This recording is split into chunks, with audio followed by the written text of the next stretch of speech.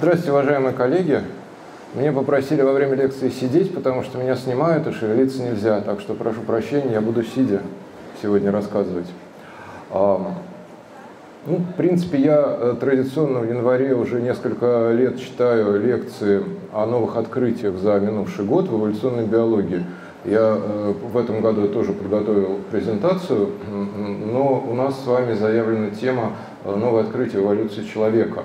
Ну, презентация у меня все равно большая, часа на 4, поэтому я пропускаю сейчас все, что не связано с человеком, и мы будем говорить только о значит, новых открытиях в изучении именно антропогенеза эволюции человека. А, Все остальное интересное, что произошло в эволюционной биологии а, в минувшем году, а, ну, не все, конечно, а вот то, о чем я собирался рассказать, я буду рассказывать э, ну, в Москве э, в среду э, в Архе, и ну, видео они обычно выкладывают в интернет довольно быстро, так что вы можете посмотреть это там. Итак, Обзор некоторых важных, на мой взгляд, интересных исследований по эволюции человека, которые были опубликованы в 2019 году. Ну, надо сказать, э, ну, сначала пару общих слов, наверное, надо сказать о том, что э, в изучении эволюции человека последние, ну, наверное, лет 20-25 идет просто вал, непрекращающийся вал новых интересных открытий, что связано во многом с постоянным появлением каких-то новых методов, новых исследовательских подходов, ну, прежде всего, это вот это фантастическое развитие э, такой невероятной науки, как палеогенетика, ну и целый ряд других достижений именно вот методологической части, что позволяет ученым узнавать все время какие-то новые э, подробности и факты о нашем прошлом, о том, как, в общем, как обезьяна стала человеком. И вот 2019 э, год э, продолжил как бы эту тенденцию, и снова было много очень э, интересных открытий. Ну вот начнем с такой работы, которая посвящена ранним представителям нашего рода, рода Homo. Значит, ну, древнейшие представители рода Homo бесспорно начинаются где-то там примерно 2,3-2,4 миллиона лет назад в Африке. Но сейчас появились находки, которые, возможно, указывают на еще более раннее появление первых представителей, э, ну, таких гоминид, которых уже можно э, относить к роду Homo, а не к австралопитекам, соответственно. Вот. И, э, в общем, давно стало понятно, что в какой-то момент, на каком-то этапе своей эволюции наши предки перешли от жизни более-менее в лесу и питания более-менее лесной пищей к жизни в саванне и питанию более-менее э, значит, э, ресурсами саванны, э, в том числе мясом, доля мяса в рационе увеличивалась. Вот такой сдвиг в питании, соответственно, в экологии, в каких-то стратегиях добывания пищи, он произошел. Но вот в какой именно момент он произошел, на этот счет полной ясности нету. И э, вот в 2019 году появилась важная работа, в которой э, в общем, э, авторы нашли, так сказать, новые подходы к э, поиску ответа на этот вопрос, когда, собственно, наши предки э, вот, стали э, полагаться в основном на ресурсы саванны. Значит, это тоже основано на таких э, современных методах анализа. Значит, оказывается, можно, ну, собственно, это давно уже э, было показано, что можно по изотопному составу углерода зубной эмали судить о питании, а именно о том, значит, э, Э, получает ли, получало ли животное в основном э, углерод из экосистем лесных или саванных. Дело в том, что растения лесные и растения, которые растут в саванне, для них характерен, характерны разные способы фотосинтеза. Ну, во второй половине кайнозойской эры на Земле началось очередное похолодание, Земля вступила в новую криоэру, а в атмосфере э, уровень СО2 очень сильно упал, и ну, начались оледенения, сначала Антарктида погибла, покрывшись километровым слоем льда. Два с половиной миллиона лет назад начались периодические оледенения в северном полушарии, стало, в общем, совсем холодно. И по-видимому, во многом в связи с этим, с тем, что, э, да, когда начались оледенения в, в, в северном полушарии, то, соответственно, э, в низких широтах, э, в Африке в том числе, стало более сухо, меньше дождей, и стали сокращаться леса, расширяться саванны. Но это вызвало целый ряд изменений, соответственно, экосистем, трофических цепей и так далее. Вот. А растения со своей стороны приспосабливались к этим новым условиям, к тому, что стало суше и стало совсем мало СО2 в атмосфере, они стали, ну, во многих группах растений произошел переход на новый тип фотосинтеза, который называется C4 фотосинтез, а старый исходный тип фотосинтеза это C3 фотосинтез, так называемый. В общем, этот C4 фотосинтез – это, грубо говоря, адаптация многих растений во второй половине канозоя, в основном травянистых растений, к ситуации, когда очень мало СО2 в воздухе, и нужно его как-то более интенсивно оттуда вытягивать, при этом, по возможности, не теряя слишком много влаги. Вот. И э, очень удобно то, что эти два способа фотосинтеза, C3 и C4, они оставляют разную, так сказать, изотопную подпись. Значит, при C3 фотосинтезе в органическом веществе получается а, сильно пониженная доля тяжелого изотопа 13С, а, соответственно, больше обычного легкого изотопа 12С, а при С4 фотосинтезе в органическом веществе получается больше доля 13С. И, соответственно, в саванне больше растений С4, в лесу больше растений С3, и, соответственно, можно посмотреть изотопный состав зубной эмали э, животных и понять, э, вот откуда они получали пищу. И э, это, в принципе, давно применяется такой метод, но до сих пор это обычно были какие-то единичные образцы или там несколько, десятки образцов. А вот в этом исследовании огромная была выборка, там порядка тысячи образцов и палеопочв, и э, зубной эмали, и, значит, э, самых разных животных, в том числе гоминид африканских, от австралопитеков всяких разных до хомо, ранний хомо, более поздний хомо, там уже эректус, эргастеры и парантропы, разные представители гоминид, которые жили в Африке вот где-то от 3 до там, 1 миллиона лет назад.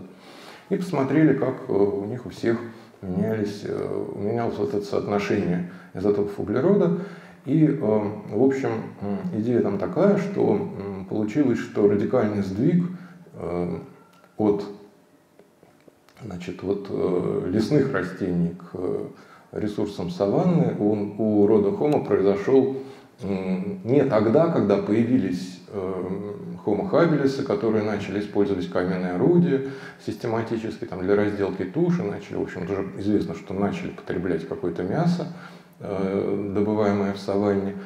А, но, тем не менее, по-видимому, они а, потребляли этого мяса не так уж много, потому что радикальный сдвиг изотопного состава зубной эмали происходит позже, как выяснилось, где-то 1,65 миллиона лет назад, то есть уже когда появляются более продвинутые люди э, Homo erectus, ранние erectus или э, Homo ergaster, как их иногда выделяют в особый вид, именно они Значит, они изобрели более продвинутую технологию изготовления каменных орудий. Ашельская культура – это эм, уже каменное орудие, которому придается э, особая форма, симметричная, такие обоюдоострые ручные рубила, которые, как считают археологи, очень хорошо подходят как раз для разделки туш крупных животных.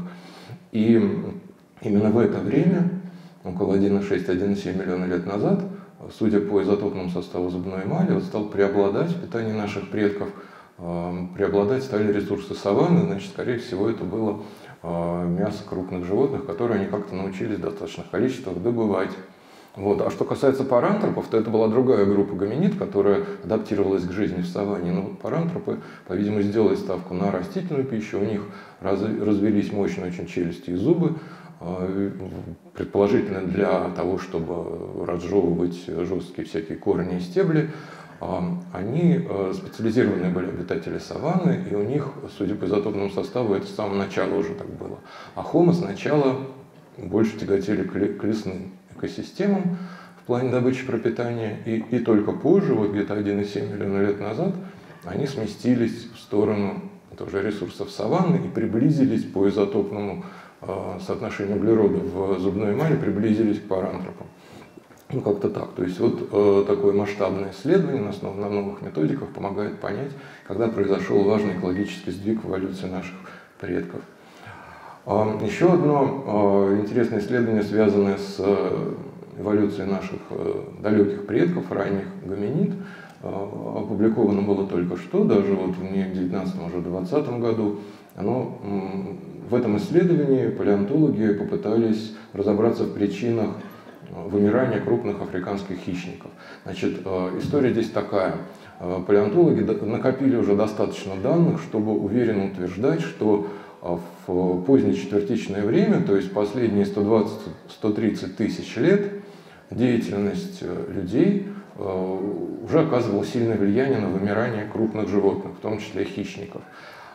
Ну, особенно ярко это проявилось в Австралии и в Северной и Южной Америке, где э, массовое вымирание мегафауны, крупных млекопитающих, достаточно точно совпадает с появлением там людей современного типа. В Австралии это начинает 40 тысяч лет назад, а в, в обеих Америках это примерно там 10-11 тысяч лет назад.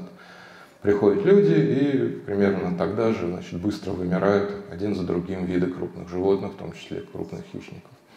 А, ну, в Азии тоже было массовое вымирание, несколько менее четко э, сконцентрированное во времени, но тоже оно с большой, э, с достаточной уверенностью связывается с деятельностью первобытных охотников. Вот это вымирание мамонтовой фауны. Конечно, климатические изменения тоже там некий вклад внесли, но надо учитывать, что межледниковье, которое наступило 10 э, тысяч лет назад, было далеко не первое потепление, когда таяли ледники, таяла вечная мерзлота, вот все вот это вот. Прежние межледниковья не приводили к массовому вымиранию мамонтовой фауны, а последнее межледниковье, значит, привело. Конечно, здесь не обошлось без первобытных охотников. Вот. Но что касается африканского континента, то там ясности не было, потому что, ну, вроде как вот э, в позднечетвертичное время каких-то массовых умираний крупных животных там не наблюдалось, и там даже, в общем-то, лучше всего сохранилась эта мегафауна по сравнению с другими материками. Но э, вот палеонтологи, специалисты по хищным, ископаемым хищным млекопитающим африканским, они, э, в принципе, уже поняли, что разнообразие крупных животных, и в том числе крупных хищников в Африке очень сильно сократилось в наши дни по сравнению с тем, что было в плейстоцене. В плейстоцене, вот до, причем так больше в раннем плейстоцене, разнообразие крупных хищников в Африке было гораздо выше, чем сейчас. А к числу исчезнувших э, крупных хищников африканских относятся несколько видов э, крупных саблезубых кошек, причем это было несколько родов. Значит, там вот род Динофилис, там три вида как минимум разных обитало в Африке. Гомотерии, тоже э, другой род саблезубых крупных э, кошек. Гиен было гораздо больше видов, чем сегодня, в том числе были гигантские гиены. Еще были целые полностью исчезнувшие группы крупных хищников в Африке, такие как удивительно гигантские выдры, которых было тоже там вида три как минимум. Представьте себе выдру весом 200 килограмм. Э, палеонтологи там теряются в догадках по поводу того, чем питались такие, в общем-то, водные, по-видимому, по морфологии гигантские твари. Э, ну, у палеонтологов фантазия богата, есть даже предположение, что они питались молодыми крокодилами. Но это вот тоже вымершая группа. Были еще гигантские куницы, гигантские цветы. Э, и ну, в целом больше, было гораздо больше видов крупных хищников. И если сейчас каждый вот из сохранившихся в Африке крупных хищников занимает какую-то свою определенную четкую нишу экологическую, достаточно четко отличающуюся от ниш других крупных хищников, выживших, то э, в начале плейстоцена ситуация была другая, более характерная для такого более процветающего, что ли, сообщества, вот этой гильдии крупных хищников, когда в каждой нише сидело по несколько видов, близких, похожих друг на друга, на они вот как-то уживались. Вот, то есть, по-видимому, все-таки вымирание крупных хищников в Африке имело место, и э, вот эта работа была нацелена на то, чтобы понять, какие факторы вызвали значит, сокращение разнообразия крупных африканских хищников, там э, люди собрали очень подробные, в общем, все имеющиеся палеонтологические находки, создали базу данных, все перепроверили, там в состав авторского коллектива входят ведущие специалисты как раз по ископаемым, вот по, плейстат, по плиоценовой, плейстоценовой фауне хищников африканских.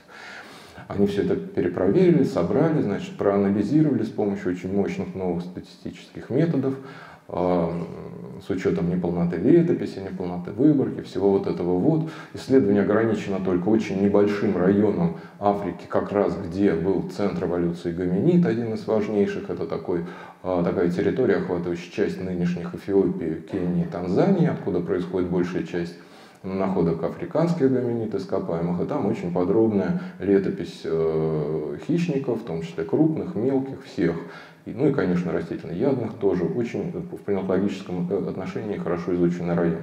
И есть палеоклиматические реконструкции по этому району, значит, как менялась температура, как менялась влажность, количество осадков, как менялась площадь лесов и как менялись гоминиды, которые там жили. Значит, э, сравнивалась, сравнивалась правдоподобность моделей, а, объясняющих динамику вымирания хищников разными факторами. Температурой, количеством осадков, площадью лесов или эволюцией гоминид. И оказалось, что в общем, климатом никак совершенно не получается объяснить динамику разнообразия крупных хищников. Ну, нет никакой связи вообще там не видно.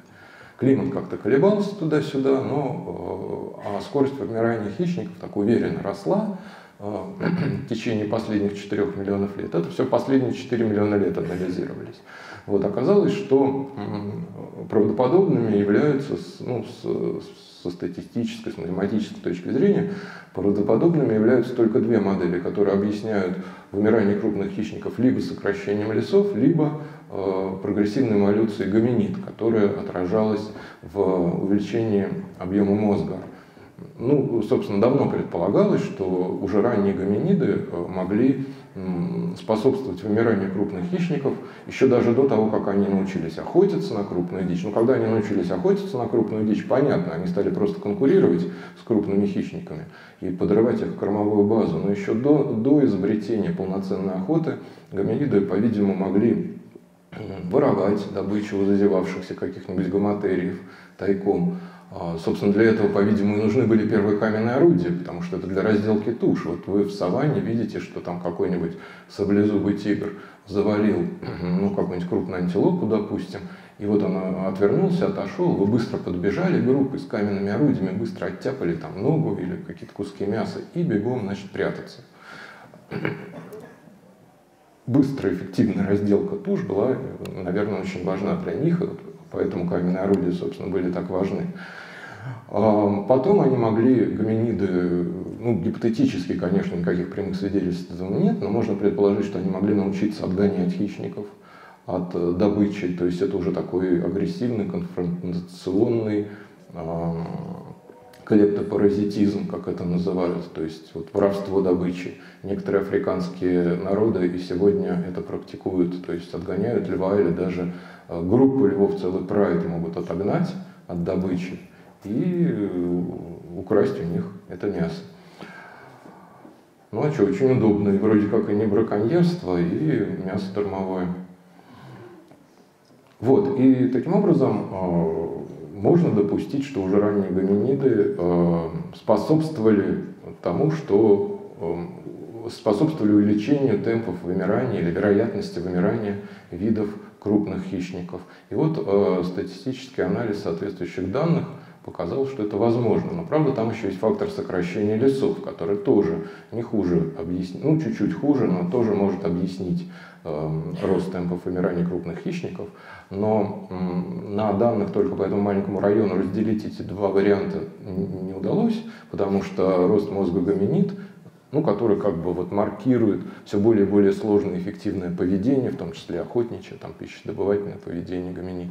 И сокращение лесов, эти два процесса шли параллельно, и, в общем, непонятно, какой из них был э, важнее в этом плане. Тогда авторы привлекли, привлекли еще данные по разным районам современной Африки, эм, предполагая, что те факторы, которые в современной Африке влияют на долю крупных хищников, в общем разнообразии хищников, наверное, и в прошлом тоже могли способствовать снижению этой доли крупных хищников и способствовать вымиранию крупных хищников. А, построили корреляции по современной Африке, значит, как э, коррелирует э, та же температура, количество осадков и площадь лесов с долей крупных хищников э, в, в общем разнообразии хищников. И попытались с помощью этих современных корреляций объяснить э, динамику разнообразия крупных хищников за последние 4 миллиона лет, и у них получилось, что не получается это, э, что не объясняет ни температура, ни осадки, ни э, площадь лесов не могут объяснить рост скорости вымирания крупных хищников. И, наконец, э, еще они привлекли данные по Северной Америке. Дело в том, что сокращение лесов последние несколько миллионов лет это происходило не только в Африке, это был очень более-менее глобальный процесс, который происходил много где, и в том числе в Северной Америке тоже. Так вот, палеонтологические данные, пусть не такие подробные, не, такие, не так детально изученные, как вот по этому району Африки, но тем не менее они есть, их достаточно много, и они показывают, что в Северной Америке – плеоцене, плейстоцене сокращение лесов не сопровождалось э, повышенным вымиранием крупных хищников, не сопровождалось сокращением доли крупных хищников, а даже наоборот, там в плейстоцене в Северной Америке доля крупных хищников немного выросла по сравнению с плеоценом, то есть наоборот, их становилось больше. То есть сокращение лесов не годится в качестве объяснения остается, остается именно деятельность гоминид. Вот таким образом значит, был, были получены достаточно убедительные аргументы в, в пользу того, что гоминиды уже с очень давних времен, может быть, начиная с, там, с 3-4 миллионов лет назад, уже влияли на вымирание крупных хищников в Африке. Вот. Значит, следующая работа это результаты многолетних трудов археологов, которые работали на Филиппинах, в пещере Кальяо, остров Лусон. Значит, в результате этих э, усилий э, в прошлом году был описан новый вид людей. Вот наша, наша родословная, так сказать, э, род Homo пополнился новым видом. Это островной карликовый вид, который назвали Homo luzonensis. Значит, в этой пещере Кальяо раскопки ведутся уже достаточно давно. И первую человеческую косточку там нашли довольно давно. Это была кость, ну, одна из костей стопы, э, возрастом 67 тысяч лет, но э, пока эта косточка была одна, было непонятно, какому именно человеку, там, может быть, Homo sapiens, э, принадлежала эта кость. Но раскопки там продолжались очень тщательно и систематически в течение многих лет. И вот, наконец, и там удалось найти еще косточки, зубы. А, черепов, к сожалению, ни одного не найдено. В общем-то, костный материал достаточно бедный, но его набралось все-таки достаточно, чтобы исследователи сочли а, возможным описать на этом основании новый вид людей. Там достаточно отличий от всех известных видов людей, и они эм, интерпретировали эти находки так, что это был карликовый островной вид, эм, который жил вот там на острове Лусон 50-67 тысяч лет назад. То есть вот у нас был описан в 2004 году э, хоббиты, хоббит с острова Флорес – Э, карликовый вид, который, по-видимому, вот измельчал в условиях островной изоляции с очень маленьким мозгом. А, это известная находка. А теперь мы имеем еще хоббитов с острова Лусон. И более того, еще на острове Сулавеси тоже найдены были каменные орудия возрастом примерно 200 тысяч лет, а значит, люди туда, какие-то архаичные люди задолго до появления на горизонте Homo sapiens добирались до этих островов. На этой карте показаны очертания берегов вот э, этого региона, Юго-Восточной Азии, вот здесь э, Индонезия и вот э, Австралия, Новая Гвинея. А как это выглядело во время оледенений, когда море отступало на 50 и на 120 метров, то есть уровень моря понижался на 50 и даже на 120 метров во время ледниковых максимумов. Значит, вот так понижается уровень моря. Сейчас у нас межледниковье, море повыше. И э, эта карта показывает, что в период оледенений э, острова Суматра, Ява, э, Борнео соединялись с материком, образовывали такой единый массив суши, который называют Сунда или Сундаланд. Австралия со своей стороны объединялась с Новой Гвинеей в материк, который называется Сахул. А между ними оставались все равно острова, которые не соединялись ни с каким материком, и на которые добраться можно было только э, пересекая достаточно широкие, многокилометровые морские проливы, которые никогда не высыхали. И вот э, на трех таких островах, соответственно, Лусону, где там наверху написано Кальяо, Кейв, Сулавеси и Флорес, как минимум на эти острова архаичные люди сумели перебраться, э, форсировав как-то эти морские проливы. И, скорее всего, э, что это были за люди? Ну, на Флорисе люди появились порядка миллиона лет назад, на Лусоне люди появились тоже порядка там, 800 тысяч, миллион лет назад. Это видно по орудиям. Вот сами косточки человеческие, которые удалось найти, они более молодые, 50-67 тысяч лет. Но каменные орудия есть более древние. Соответственно, на Соловесе там 200 тысяч лет, но, возможно, там и э, найдут в дальнейшем и более древние э, следы присутствия человека. А в те времена здесь, вот в Сунде, жили Homo erectus, э, собственно, яванские пятикантропы, которые были открыты еще Дюбуа, достаточно архаичные товарищи, но тем не менее, вот как эти находки показывают, они вполне могли пересекать широкие морские проливы. Ну, неизвестно, как они это делали, вряд ли они строили какие-то лодки, это уж чересчур для их уровня культурного развития. Но вот как-то на бревнах, на плотах каких-то, ну, перебир... как минимум три раза перебирались. То есть это уже на случайный занос, на какой-то ураган, который вырвал с корнем дерево, на котором сидела беременная самка, и, значит, забросил на другой остров. Три раза так не могло случиться. Э, соответственно, э, вот. Э, ну, это как бы немножко меняет наше представление о эректусах Юго-Восточной Азии. И что еще тут можно сказать? Да, и вот что касается вообще новых открытий в изучении эволюции человека, сейчас в последние годы очень большую роль играют развитие, бурное развитие методов датирования древних костей, всяких древних отложений, пещерных в том числе. В принципе, значит, э, вот этот набор методов датировок, он э, уже довольно давно имеется, но каждый метод имеет свои э, там, недостатки, какие-то погрешности, и вот э, очень быстро они развиваются и становятся все более точными, все более надежными. И э, вот э, буквально только что, уже в 2020 году, вышло две важные статьи, которые уточняют время присутствия э, пятикантропов в Юго-Восточной Азии, ну, конкретно на Яве. Вот эти самые иванские пятикантропы, там просто их нашли, там хорошее местонахождение известное. И вот э, тоже изменились прежние представления. Раньше, если вы поищете в книжках, в литературе том числе, например, вот в моей эволюции человека в двухтомнике, там можно найти такие датировки присутствия э, пятикантропов в Юго-Восточной Азии, э, что они появляются там 1,7, там чуть ли не 1,8 миллион лет назад, то есть практически сразу, как вот после того, как э, самые древние находки в принципе гоминид за пределами Африки, это люди из Дманиси в Грузии, 1,7 примерно миллионов лет. Вот примерно чуть, э, чуть ли не тогда же они на Яве и появлялись, по прежним данным. Но вот сейчас оказалось, что все-таки нет, и древнейшие находки пятикантропов на Яве не старше, чем 1,3 миллиона лет. То есть все-таки полмиллиона лет у них дошло, чтобы добрести как-то вот э, с Кавказа до Явы. И последние датировки последних эректусов на Яве раньше э, предлагались очень такие молодые, то есть рассматривалась возможность, что последние пятикантропы там дожили до 50 тысяч лет назад, чуть ли не до прихода первых сапиенсов. Но нет, опять же, оказалось, что самые молодые находки чуть древнее, имеют возраст 117-108 тысяч лет. Это вот только что появились эти уточненные датировки, что, в общем-то, меняет картинку.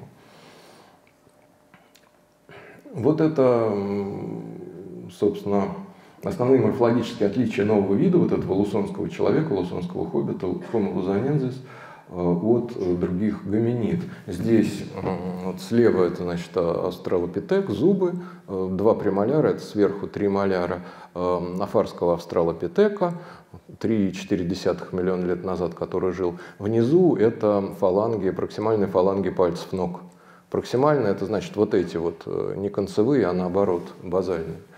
Значит, в середине Homo luzonensis, вот этот лусонский хоббит, и справа архаичный Homo sapiens.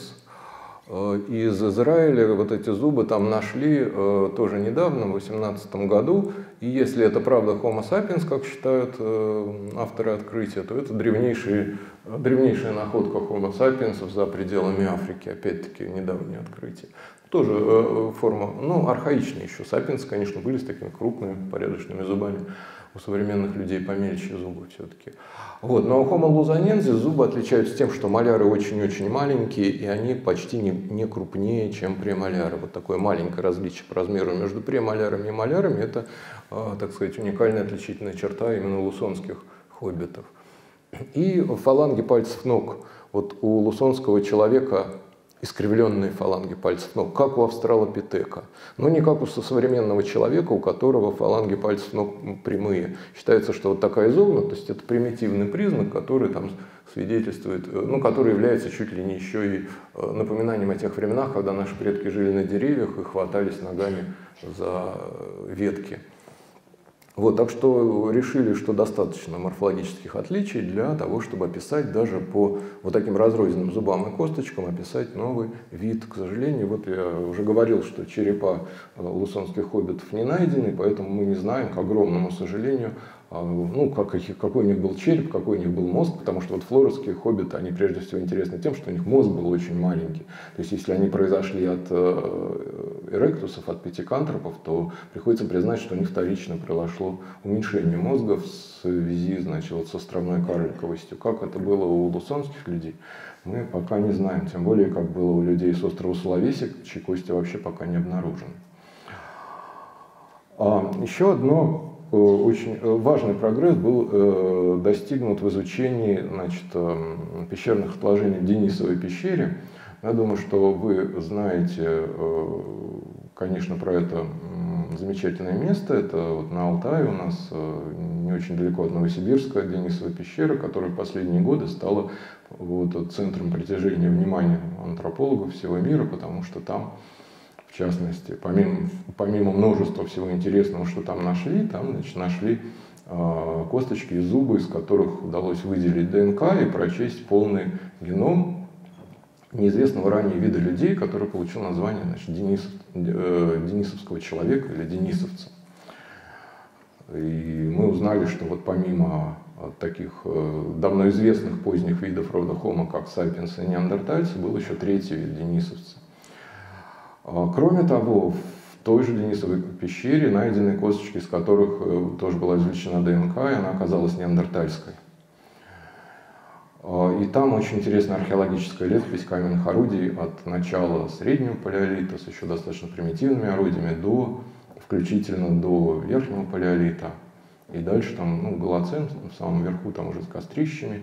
Вот все слои. То есть пещера, понятно, что была обитаема уже очень давно, люди там ну, постоянно они там не жили, люди, по-видимому, никогда, но периодически заходили, стояли какое-то время, тусовались в этой пещере, что-то ели, спали и дальше шли. А, но это происходило на протяжении очень долгого времени. Только вот было непонятно, какого именно, потому что всегда были огромные проблемы в Денисовой пещере с датировками, со стратиграфией. Там очень сложная структура этих пещерных отложений, слои многократно перемешивались, какие-то там сурки какие-то копались, рыли норы, перемешивали слои, да и люди может, могли там что-то ковыряться. В общем, там порой встречаются совершенно как бы несовместимые артефакты, среднепалеолитические, перемешку с верхнепалеолитическими, вроде как примитивные орудия среднего палеолита лежат в одном слое, скажем, с Э, обалденными совершенно костяными иголками, верхнепалеолитическая культура высокая такая, с украшениями. Вот. И в принципе, академик Деревянко, новосибирский археолог, э, замечательный специалист, который руководит в течение ряда десятилетий раскопками, работами вообще в этой Денисовой пещере, он давно считал, что, наверное, э, может быть, верхний палеолит, судя по находкам в Денисовой пещере, вот эта великая культурная революция верхнепалеолитическая, когда появились украшения, костяные орудия, новые методики обработки камня, скульптуры, там вырезанные из мамонтового бибня, пещер, э, наскальная живопись, вот это вот весь культурный взрыв верхнеполитической эволюции, может быть, э, произошел вот там на Алтае раньше даже, чем в Европе, где это все происходит примерно 40 тысяч лет назад. Но, опять же, были большие проблемы с датировками слоев, с датировками находок. Но сейчас, когда внимание всего мира привлечено к этой Денисовой пещере со страшной силой, туда набежала куча иностранных коллег с самыми современными методиками, методики развиваются. В общем, там международное научное сообщество приложило титанические усилия и все-таки разобрались в стратиграфии э, Денисовой пещеры, а там три зала, и в каждой свои проблемы, свои, свои какие-то перепутанности слоев. Но, в общем, удалось разобраться, и в процессе еще выяснилось, что, оказывается, э, настолько хорошо сохраняется древняя ДНК вот в этих микроусловиях Денисовой пещеры, что даже не только в костях она сохраняется, а костей там нашли очень мало, на самом деле, человеческих.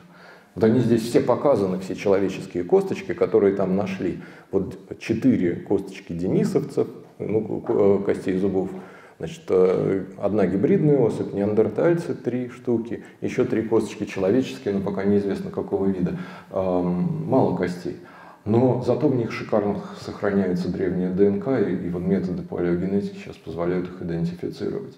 Так вот, оказалось, что там даже в пещерном грунте просто э, можно обнаружить древнюю ДНК. То есть костей никаких нет. Берем пробу грунта, пытаемся выделить ДНК, и она там есть. И а, методами палеогенетики можно доказать, что действительно древняя ДНК и принадлежал, например, неандертальцу или денисовскому человеку. Вот самого человека нету, от него ни, ни косточки, ни зуба не осталось, а его ДНК в пещерном грунте, вот в этих отложениях сохранилась.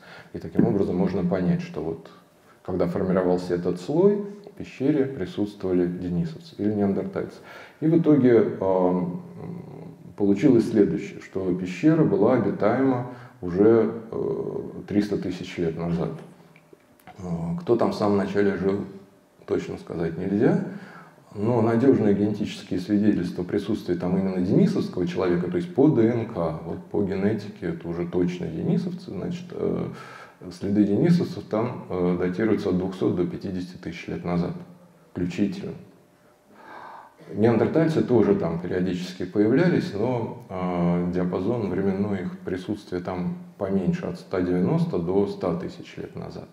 А вот следов палеолитических сапиенсов, генетических, там до сих пор не найдено. Хотя, конечно, не исключено, что в какой-то момент сапиенсы туда пришли и тоже там жили, но ДНК их пока не найдено.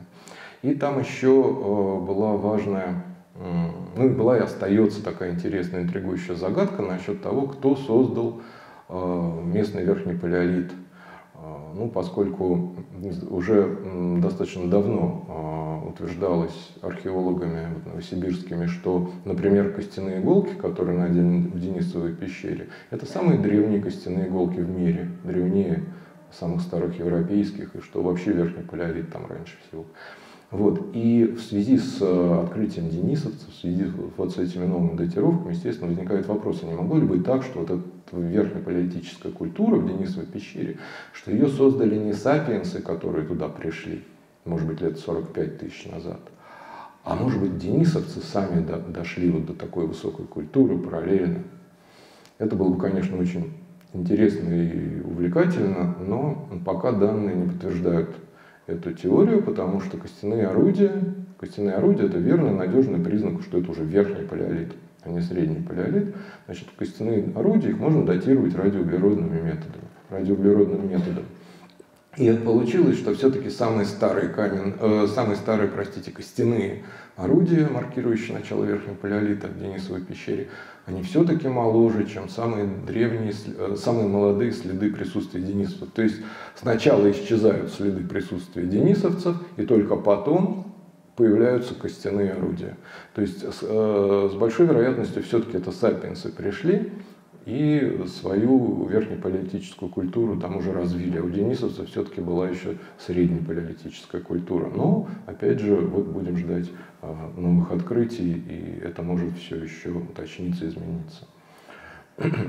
Еще одно открытие а, достаточно фантастическое и впечатляющее, тоже связано с денисовским человеком.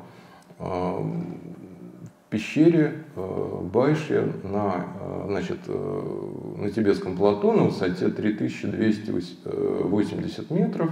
Есть такая пещера, она является буддийским святилищем, а также популярным туристическим местом, куда значит, много туристов приезжает. И в этой пещере уже достаточно давно один буддийский монах нашел человеческую челюсть. А, в общем, даже монаху понятно, что это человеческая челюсть, точнее половинка нижней челюсти. Вот она, значит, светло-серым, это реконструкция про зеркальное отражение. Вторая, э, реконструкция второй половины, вот такая челюсть. А, монах отдал своему духовному наставнику эту челюсть, там, живому Будде. И этот э, высокопоставленный, значит, буддийский монах э, подумал, подумал и передал челюсть в местный ближайший китайский университет археологам, значит, ученым, чтобы они разбирались. То есть решили, что это не по религиозной, а все-таки по научной части. Китайские археологи стали изучать эту челюсть, но по морфологии она примитивная, архаичная, понятно, что человеческая, понятно, что с архаичными признаками, но вот точно сказать, чье это неандерталец, архаичный сапиенс, еще кто-то. По морфологии на сегодняшний день э, нельзя. Ну, хотя бы потому, что морфология денисовцев никому не известна. А от денисовцев вот что у нас есть. Э, пара зубов да пара обломочков. А, и геном. Но по геному, к сожалению, мы еще не можем устанавливать фенотипы, там, параметры нижней челюсти. А, короче говоря, было неясно, чья это челюсть. А, ДНК пытались выделить, но ДНК, к сожалению, не выделяется из этой челюсти. Ну, не сохранилось. Все-таки это сильно южнее, чем Денисова пещера. И в этой тибетской пещере там сильно теплее, в принципе. И ДНК древняя не сохраняется в теплом климате. Но пару лет назад европейские палеогенетики, так сказать, соратники Сванта Паабо, изобрели, можно сказать, новую науку, палеопротеомику. Они научились а, идентифицировать древние кости по, а, уже не по ДНК, а по а, сохранившимся фрагментам белковых молекул, коллагенов, которые порой сохраняются в древних костях лучше и дольше, чем ДНК.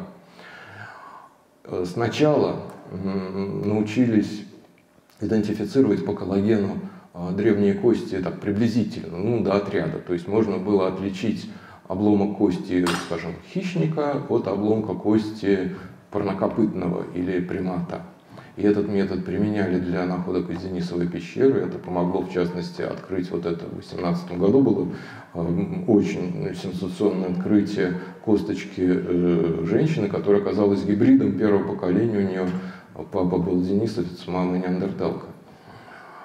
А потом этот метод был усовершенствован, и появилась возможность по вот этому коллагену, то есть выделить, очистить этот древний коллаген из кости, секвенировать его, то есть определить аминокислотную последовательность, и по этой последовательности уже можно точно определить положение э, владельца этой косточки на генеалогическом дереве.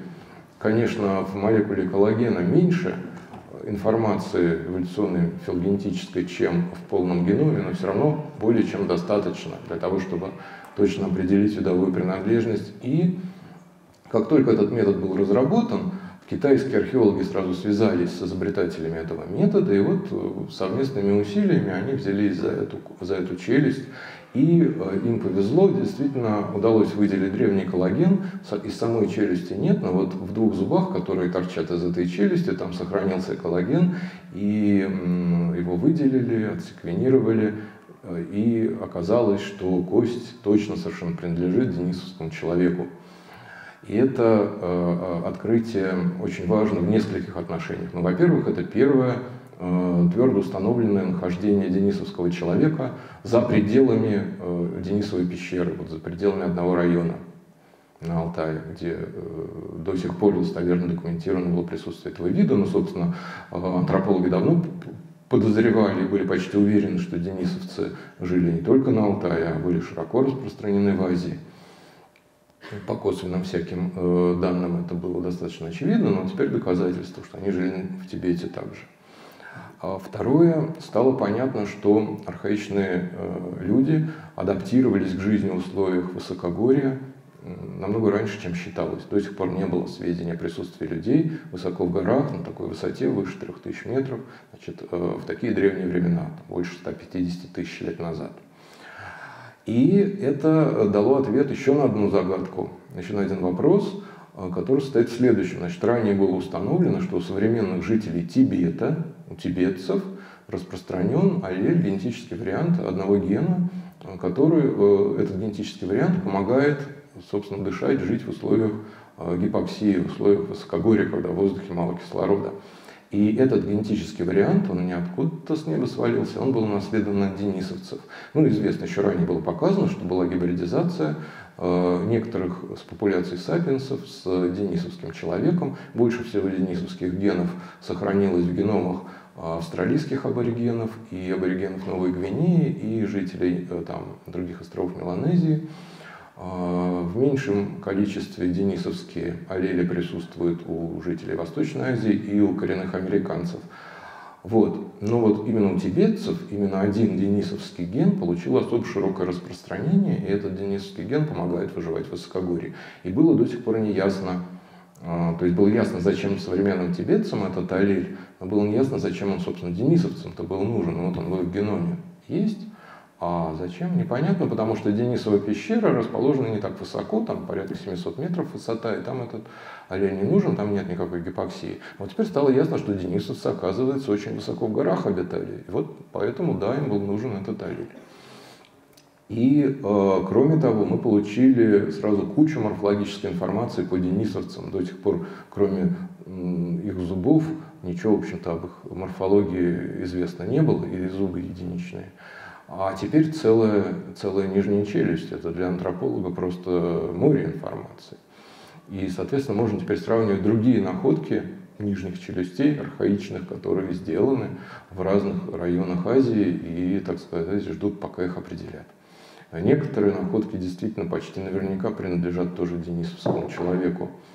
Вот. Ну и, конечно, это открывает новые заманчивые перспективы. Теперь появляется надежда, что, может быть, и в других костях э, древних людей, в которых не сохранилась ДНК, как, например, в костях того же флоровского хоббита, а вдруг коллаген сохранился. Это было бы так здорово, если бы удалось э, точно определить место флоровского хоббита или лусонского хоббита на генеалогическом дереве э, рода Хома. И еще одно открытие, тоже совершенно фантастическая работа, абсолютно новый подход.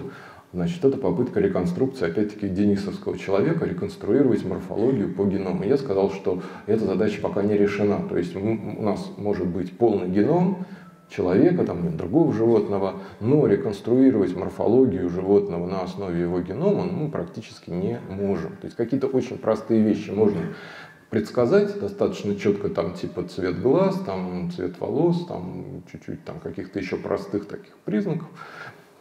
Но э, очень мало, очень мало подробностей мы можем сказать по морфологии, в том числе по морфологии скелета, глядя на геном. Почему? Потому что признаки морфологические, в том числе признаки скелета, а, как правило, определяются не одним геном, не двумя, а очень многими генами взаимовлияние которых на морфологический признак тесно переплетены, еще опосредуются средой, зависит от контекста. И, то есть путь от гена до какого-то морфологического признака, скажем, там, не знаю, до длины носа или там размера нижней челюсти. Путь очень долгий, очень извилистый, и там очень много пересекающихся дорожек от разных других генов, от факторов среды. Там черт много, поэтому нет пока таких методов. Гораздо проще реконструировать э, фенотип, если э, смотреть не на геном, а на уровне экспрессии, на активность генов в разных тканях, ну, например, в тех же костях. Какие гены активны, какие нет. Но для этого надо выделять РНК, из древних костей выделять э, древние РНК, да еще в таких количествах, чтобы можно было количественно оценивать уровень экспрессии. Это пока еще ну, полная фантастика, и очень может быть, что это и в принципе невозможно, ну, потому что РНК вообще-то э, хуже сохраняется намного, чем ДНК, как правило, в древних костях. Э, хотя все же иногда и РНК тоже сохраняется тоже из новых открытий. Но э, напрямую померить экспрессию генов у денисовского человека, конечно, мы пока не можем. Но вот придумали ученые новый подход, э, такой обходной маршрут, как можно прикинуть уровень экспрессии генов по э, рисунку метилирования генома. Значит, метилирование ДНК – это такой один из способов регуляции активности генов. В частности, довольно хорошо известно, что если сильно метилирована регуляторная область гена, промотор, если сильно метилирован промотор, то, скорее всего, это значит, что активность гена подавлена, ген не экспрессируется или очень, очень слабо экспрессируется. И палеогенетики научились реконструировать э, рисунок метилирования. Оказывается, вот в этих древних геномах, древних геномах неандертальцев, денисовских людей можно понять довольно-таки точно, по-видимому, какие участки генома были сильнее, какие слабее метилированы. Идея там, а, подход основан на том, что в зависимости от того, метилирован или не метилирован цитозин ДНК, у него будет разная судьба при а, посмертной деградации ДНК. Если цитозин э, не метилирован, то он будет превращаться в урацил, а если он метилирован, то он будет превращаться в тимин.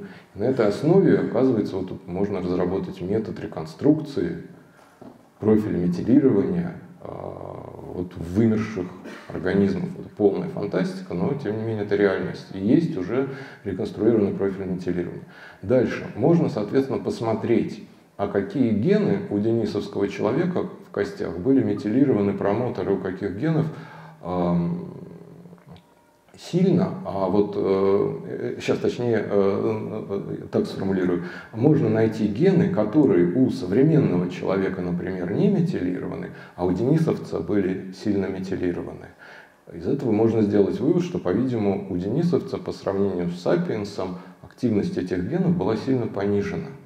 И как это могло отразиться на фенотипе? А вот об этом уже можно судить по медицинским базам данных, которые сейчас тоже очень быстро растут. Базы данных по медицинской генетике, они огромные. И там можно найти информацию о том, что выход из строя того или иного гена у человека современного приводит к тем или иным фенотипическим последствиям. Ну, например, вот можно найти данные, что вот поломка такого-то гена в результате мутации приводит к тому, что там уменьшается объем мозговой коробки, там, или становятся более длинными там, плечевые кости, или там что-то еще. И таких данных накопилось уже достаточно много. И дальше мы делаем следующее допущение, что если мы видим ген, который у денисовца метилирован сильно, у сапиенса нет, то можно предположить, что денисовец в этом случае отличался от сапиенса морфологически примерно так же, как э, отличаются от нормального сапиенса сапиенсы, у которых этот ген сломан, мутации, например. Если при этом уменьшается там, черепная коробка, то, наверное, вот, а у денисовца этот ген гиперметилирован, вот, наверное, значит, у него была меньше черепная коробка. Вот такая логика. Казалось бы, вообще натяжка на натяжке, э, высосанная из пальца, не может работать. Но тем не менее, вот они все это разработали и попробовали применить этот метод к видам с э, известной морфологией, к неандертальцам. Есть для двух неандертальцев реконструкция рисунка метилирования генома. Они взяли эти данные и вот с помощью этого метода э, предсказали морфологию скелета неандертальца – на основе генома неандертальца. А потом сравнили эту предсказанную, этот предсказанный скелет с реальными скелетами неандертальцев. И оказалось удивительным образом, что достаточно точно, хорошо предсказали. То есть они в подавляющем большинстве случаев угадали направление отли, э, отличий, чем неандерталец отличается от сапиенса по множеству признаков скелета. Э, ну, конечно, это такой сейчас не количественный подход пока еще. Нельзя сказать, насколько сильно э, отличался там, неандерталец от сапиенса в каком-то признаке. Но можно понять, в какую сторону. Что там руки были длиннее или руки были короче. Неизвестно, насколько длиннее или короче, но вот направленность различий можно реконструировать. На неандертальцах это сработало. Э, попробовали проверить на шимпанзе. Чем шимпанзе отличается от человека скелет на основе, опять же, метилирования генома. И тоже оказалось, что метод неплохо работает. И таким образом, значит, э, ученые убедились, что метод работоспособен и применили его, чтобы реконструировать морфологию скелета денисовского человека. И получился список признаков, а, список отличий денисовца от современного человека, ну и от неандертальца заодно. А, вот э, основные признаки черепа показаны здесь. Значит, у денисовца был череп более широкий, там форма мозговой черепной коробки такая вытянутая, удлиненная, архаичная, скорее, как у неандертальца, а не как у сапиенса. значит, длина зубной дуги у, у денисовца была больше и чем у современного человека, и чем у сапиенса, ну и так далее. Целая куча морфологических предсказаний о виде, которую мы не видели пока никогда, никакого черепа денисовского человека мы не видели. Вот. Эта работа с предсказанием морфологии денисовца была сделана чуть раньше, чем появилась информация о челюсти из тибетской пещеры. То есть до того, как стали известны морфологические признаки нижней челюсти денисовца, это дало возможность проверить, проверить вот эти предсказания, которые сделаны на основе метилома, проверить, э, вот сравнить ее с э, челюстью, которая была идентифицирована как челюсть денисовского человека. И там э, что-то такое 8 предсказаний по поводу восьми параметров нижней челюсти было сделано на основе метилирования. И, в общем, все, кроме одного предсказания, оказались правильными. Ну, вот из восьми предсказаний одно оказалось неверным, а семь оказались правильными.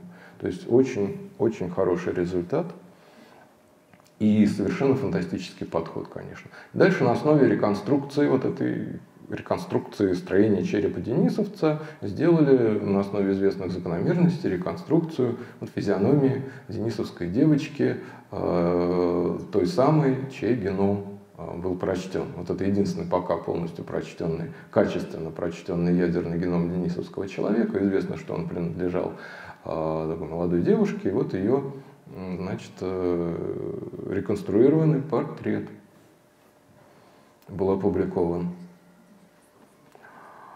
Еще одно интересное открытие. Еще одно интересное открытие, значит, э, связано с пещерной живописью, с новыми датировками. Значит, довольно давно уже были замечены, найдены э, наскальные рисунки в пещерах на островах Индонезии, в том числе на острове Сулавеси. Но это уже, конечно, не те хоббиты, это сапиенсы пришли, но уже вот вскоре после того, как они туда пришли, э, как выяснилось, они начали рисовать что-то осмысленное на стенах пещер. И, ну, рисунки и рисунки. Э, это было бы не так интересно, если бы не удалось их датировать. А вообще задача датировать пещерные рисунки – это очень сложная задача, долго не могли решить. И вот только в последние годы придумали хороший, надежный метод, как можно определить время, возраст пещерного рисунка.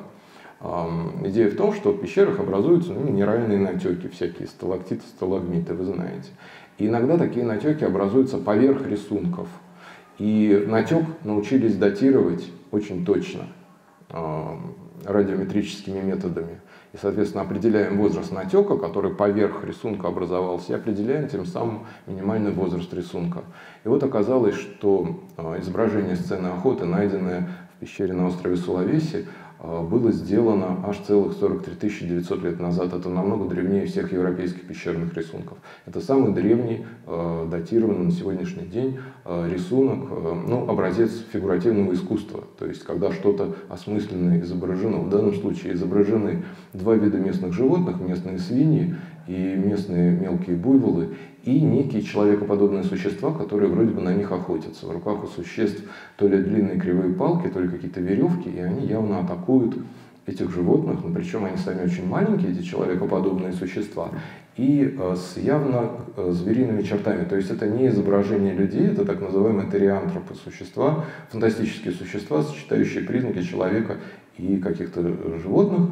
Э, например, у одного вот где прорисовка, э, четко виден хвост, у других, вот у кого-то какая-то вытянутая звериная морда, у кого-то что-то вообще там как клюв птицы или пасть крокодила. Такое. В общем, ясно, что это антро... такие человекоподобные фигурки, но не человеческие со звериными чертами. Вообще, э, самые ранние человеческие художники и скульпторы явно как-то вот избегали, боялись, что ли, изображать человеческое лицо.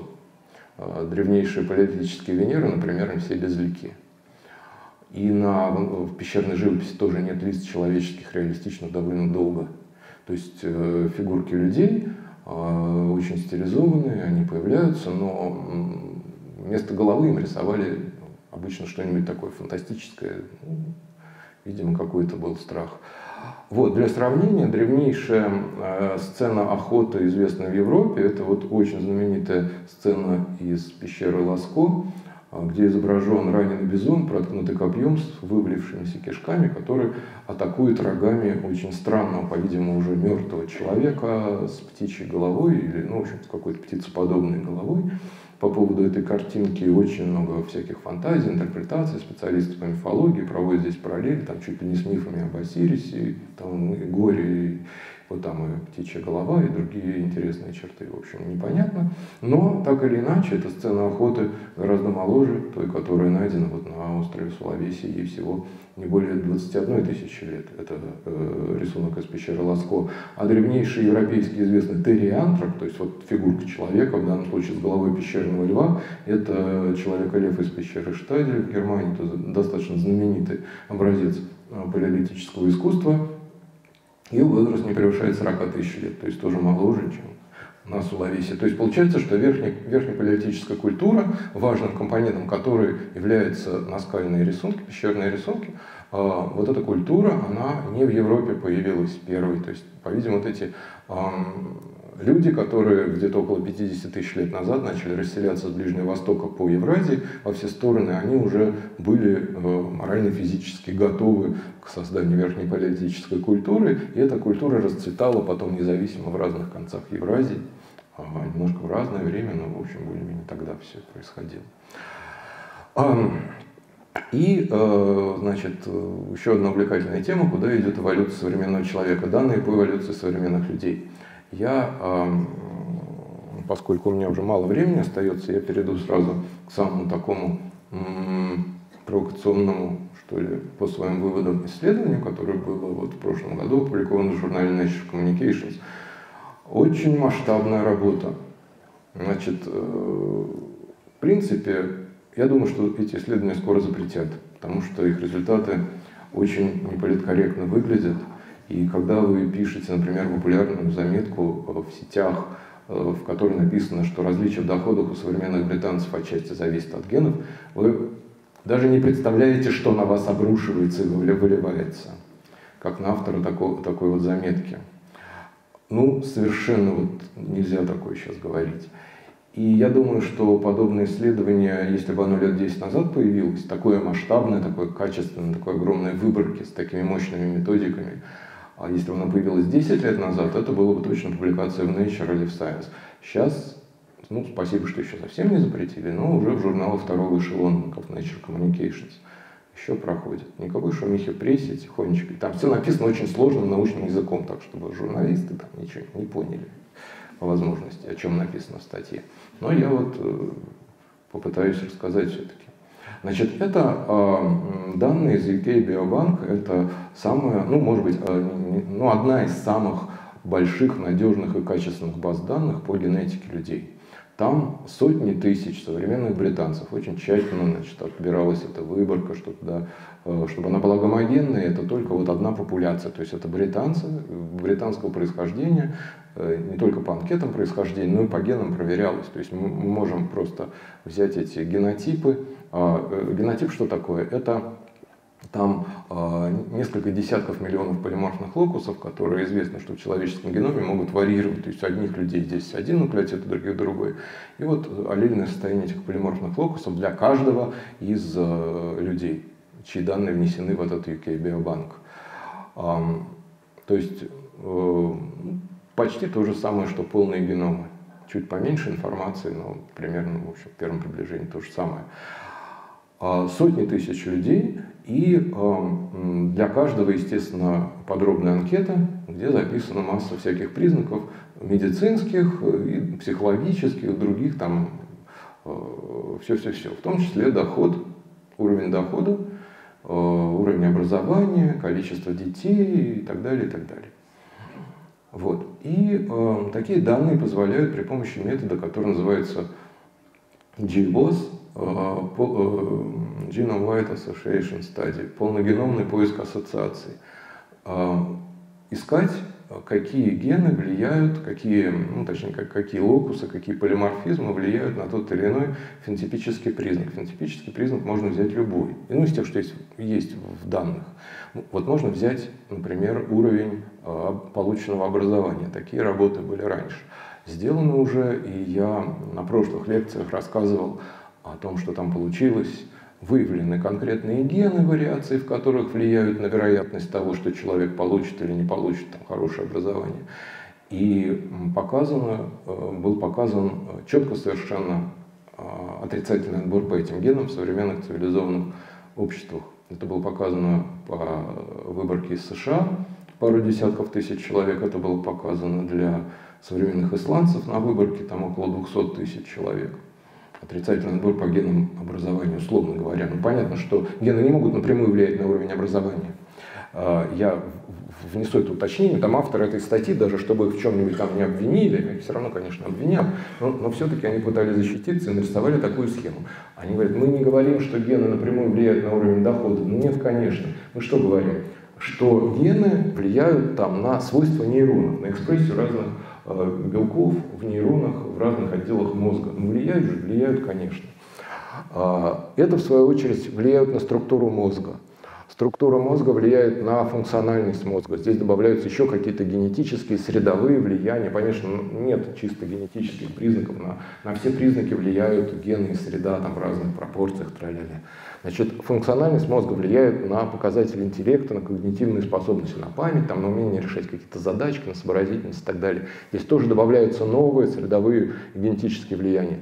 Uh, уровень интеллекта влияет, ну пусть слабо, но как-то он же должен влиять на uh, вероятность получить хорошее образование. На этом этапе еще порция средовых эффектов добавляется, которые разбавляют сильно генетические эффекты.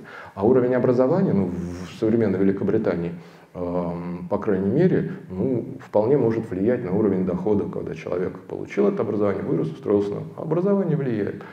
На этом этапе тоже добавляется еще порция эффектов среды, которые разбавляют опять генетические влияния. Но все-таки какой-то генетический сигнал от генов до признака доход все-таки добирается, доходит, его можно выловить. То есть какие-то гены... Что? В России такие исследования провести невозможно, потому что ничего похожего на такой UK биобанк, как Великобритания, у нас нет, ну и как бы, э, в общем, наверное, не скоро предвидится, но на меньших выборках э, можно попробовать. Действительно известно, что в обществах, как авторы выразились, с менее меритократическими э, механизмами достижения жизненного успеха, то есть в обществах, где ваш доход, ваш успех в жизни зависит не, от, не столько от ваших способностей, от вашего ума, от вашей там, работоспособности, а от чего-то другого, мягко говоря, зависит ваш жизненный успех и ваш доход, там те гены, которые у британцев влияют на доход, э, не будут на него влиять, да. Но это пока слабо изучено по причине того, что просто такие страны слабо изучены в этом отношении. Ну вот, короче, нашли гены, которые влияют на доход. Слабо, слабо они влияют на доход, среда сильнее влияет, но гены тоже влияют. И получается, что, да, и получилось что? Что вот эти вот условно э, гены богатства, их, конечно, некорректно называть генами богатства, но мы для краткости все-таки будем их так называть, это в основном те же самые гены, для которых ранее была показана связь с интеллектом и уровнем образования. То есть есть гены, которые влияют на интеллект, на уровень образования и на доходы. И вот эти три множества, они очень сильно перекрываются, но все же не полностью идентичны. То есть, скажем, есть такие полиморфизмы, которые на доход влияют, а на интеллект и образование нет. А, ну и вот найдены эти конкретные гены. Оказалось, что большинство этих генов это не просто какие-то там гены, а это гены, которые работают в мозге, в определенных отделах мозга. В определенных отделах мозга, которые э, важны, например, в, там, в обучении на ошибках. Там серотониновые нейроны и нейроны, эм, э, гамкоргические нейроны прилежащего ядра, которые вроде как важны для того, чтобы человек э, учился на опыте. То есть это по делу, это не какая-то случайная ассоциация. Э, то есть связь с интеллектом, например, вполне правдоподобно выглядит. И вот самая интересная картинка, которую авторы обсуждают, но так сказать, мало. Значит, это генетические корреляции, которые они нашли для генов, условных вот этих вот генов дохода, а также для генов образования. Это не совсем одно и то же, хотя и пересекающееся множество. Значит, что показывает эта картинка? Здесь 27, 27 фенотипических признаков, которые тоже имеют какую-то генетическую компоненту. По, по всем этим признакам есть изменчивость популяции. И на эту изменчивость отчасти влияет генетически генетические различия между людьми. Вот генетическая корреляция это, это когда оценивают, в какой степени гены, влияющие на один признак, например, доход, вот в какой степени эти же самые аллели влияют и на какой-то еще другой признак. Если значение отрицательное, что это значит? Это значит, что люди с высокой генетической предрасположенностью к высокому доходу, э, также вот с меньшей вероятностью будет у них э, зарегистрирован там, синдром дефицита внимания и гиперактивности. То есть у кого больше генов дохода, не больше доход, а больше генов дохода, у кого больше генов дохода, у того реже встречается вот этот синдром, э, там меньше утомляемость, реже бывает невротизм, они меньше курят, у них реже встречается избыточный вес, у них меньше детей, у них реже депрессия, у них меньше индекс массы тела, у них э, лучше с сердцем, а, они чаще бывают совами, а не жаворонками, у них реже шизофрения, у них реже диабет второго типа, болезнь Альцгеймера, Альцгеймера, аутизм. Они чуть, а вот здесь уже плюсы пошли, они чуть больше спят. Это я говорю о людях, у которых в, ген, в генах много аллелей, которые э, положительно ассоциированы с высоким доходом. Это не значит, что у них есть высокий доход. Это значит, что у них генетическая э, предрасположенность. На лекцию есть еще 30 минут. Окей, спасибо. А, вот. Вот, скажем, здесь светло-голубеньким показано то же самое, но не для дохода, а для образования. То есть люди, у которых в геноме написано, что у них чуть повышена вероятность вот у них генетическое, э, генетические их наследственные качества таковы, что у них чуть выше среднего вероятность получить хорошее образование. Вот у таких людей, независимо от того, получили они образование или не получили, Потому что вот эти все вероятности, их же еще ре реализовать надо. Да? Ну вот генетическая предрасположенность к получению образования, если у них есть, то у них также и шанс аутизма чуть-чуть повышен. Но понятно, что вряд ли эти две вероятности реализуются у одного и того же человека. Это вот есть некий набор полиморфизмов. Если он есть у человека, то у него чуть повышена вероятность того, что он получит хорошее образование, ну и чуть повышена вероятность аутизма. Ну а реализуется либо то, либо это, либо, скорее всего, ни то, ни другое. То есть вот это надо понимать, что это все очень тонкие материи. Значит, люди генетически предрасположены к высокому доходу и к хорошему образованию, чуть больше спят, у них почему-то чуть чаще встречается анорексия, с легкими у них все хорошо. Ой, почему-то биполярное расстройство тоже у носителей таких генов чуть чаще встречается. Это не совсем понятно почему, но в, цел, в целом, как правило, вот эти признаки генетически коррелируют с лучшим физическим и ментальным здоровьем. Но есть, есть пара исключений странных. Вот аутизм и биполярное расстройство. Удовлетворенность жизнью у них выше. Причем у людей с хорошей предрасположенностью к доходу удовлетворенность жизнью выше, чем у, у тех, у кого генетическая предрасположенность к образованию. Они чуть выше ростом, у них, что забавно, но я бы хотел все-таки это подчеркнуть, у них э, больше голова, я извиняюсь, да? вот. Они дольше живут, ну, у них вообще здоровье лучше, они подольше живут, средняя продолжительность жизни у них выше. Общее здоровье, самооценка, они лучше, они чаще оценивают свое здоровье как хорошее, но, в общем, правильно делают, потому что они дольше живут, действительно. Ну, социальная депривация – это такой хитрый там, социальный показатель, который в основном оценивается по тому, в каком районе человек живет. Вот, короче, люди с э, генетической предрасположенностью к образованию дохода чаще живут в хороших районах и, так сказать, менее депривированы. Возраст при рождении первого ребенка. Они имеют обыкновение позже рожать детей. Значит, все это очень мило. Мы из этого видим что? Что гены, э, гены э, повышающие вероятность того, что современный британец будет хорошо зарабатывать, эти гены – это, в принципе, хорошие гены они э, улучшают здоровье и ментальное, и физическое в целом. А, мозг получше работает, весь организм получше работает, жизнь дольше. Известно, что там сильнейшие, здесь не показано даже, но это э, известно, что генетические корреляции между доходом, образованием и интеллектом, вот этой тройка признаков, очень сильные. Это я уже говорил, в принципе. Вот. Но что Вообще авторы не обсуждают, э, так сказать, предоставляют читателю самим это заметить или не заметить при внимательнейшем разглядывании этого рисунка, который очень маленький, там статьи еще надо это глядеть. возраст при рождении первого ребенка увеличен. Значит, вот эти люди с этими замечательными, прекрасными генами образования и дохода позже начинают рожать детей, и это естественным образом приводит к тому, что в итоге число детей у них меньше. Если перевести это на русский язык, это значит, что отбор действует против генов дохода, против генов образования. Генетический базис хорошего ментального и физического здоровья, генетический базис интеллекта, генетический базис жизненного успеха размывается, отбор работает против него, такие люди хуже размножаются, а лучше размножаются глупые и больные. Это факт, это не шутки.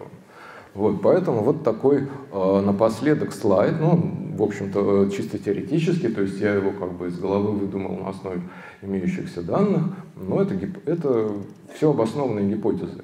Это э, ряд э, причинно-следственных связей, за счет которых э, цивилизация, э, развитие цивилизации может и с большой вероятностью действительно приводит к отрицательному отбору по ценным для нас признакам, признакам и к генетическому вырождению деградации.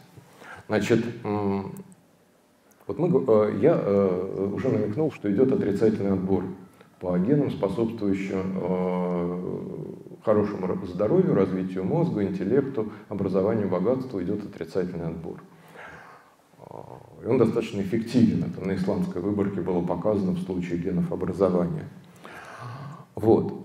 Кроме того, есть еще такая вещь, как бесконтрольное накопление вредных мутаций из-за ослабления очищающего отбора. Значит, есть просто движущий отбор, положительный отбор по аллелям, которые портят нам мозги, делают нас более глупыми. А кроме того, есть еще ослабление очищающего отбора против аллелей, которые что-то портят э, в нашем организме, иммунную систему. Ну, э, некоторые вещи вполне понятны. Если, изобрета... Если человечество изобретает антибиотики, и с помощью антибиотиков мы теперь можем эффективно бороться с инфекциями, то, естественно, слабеет отбор на хорошую работу иммунной системы у нас, правильно?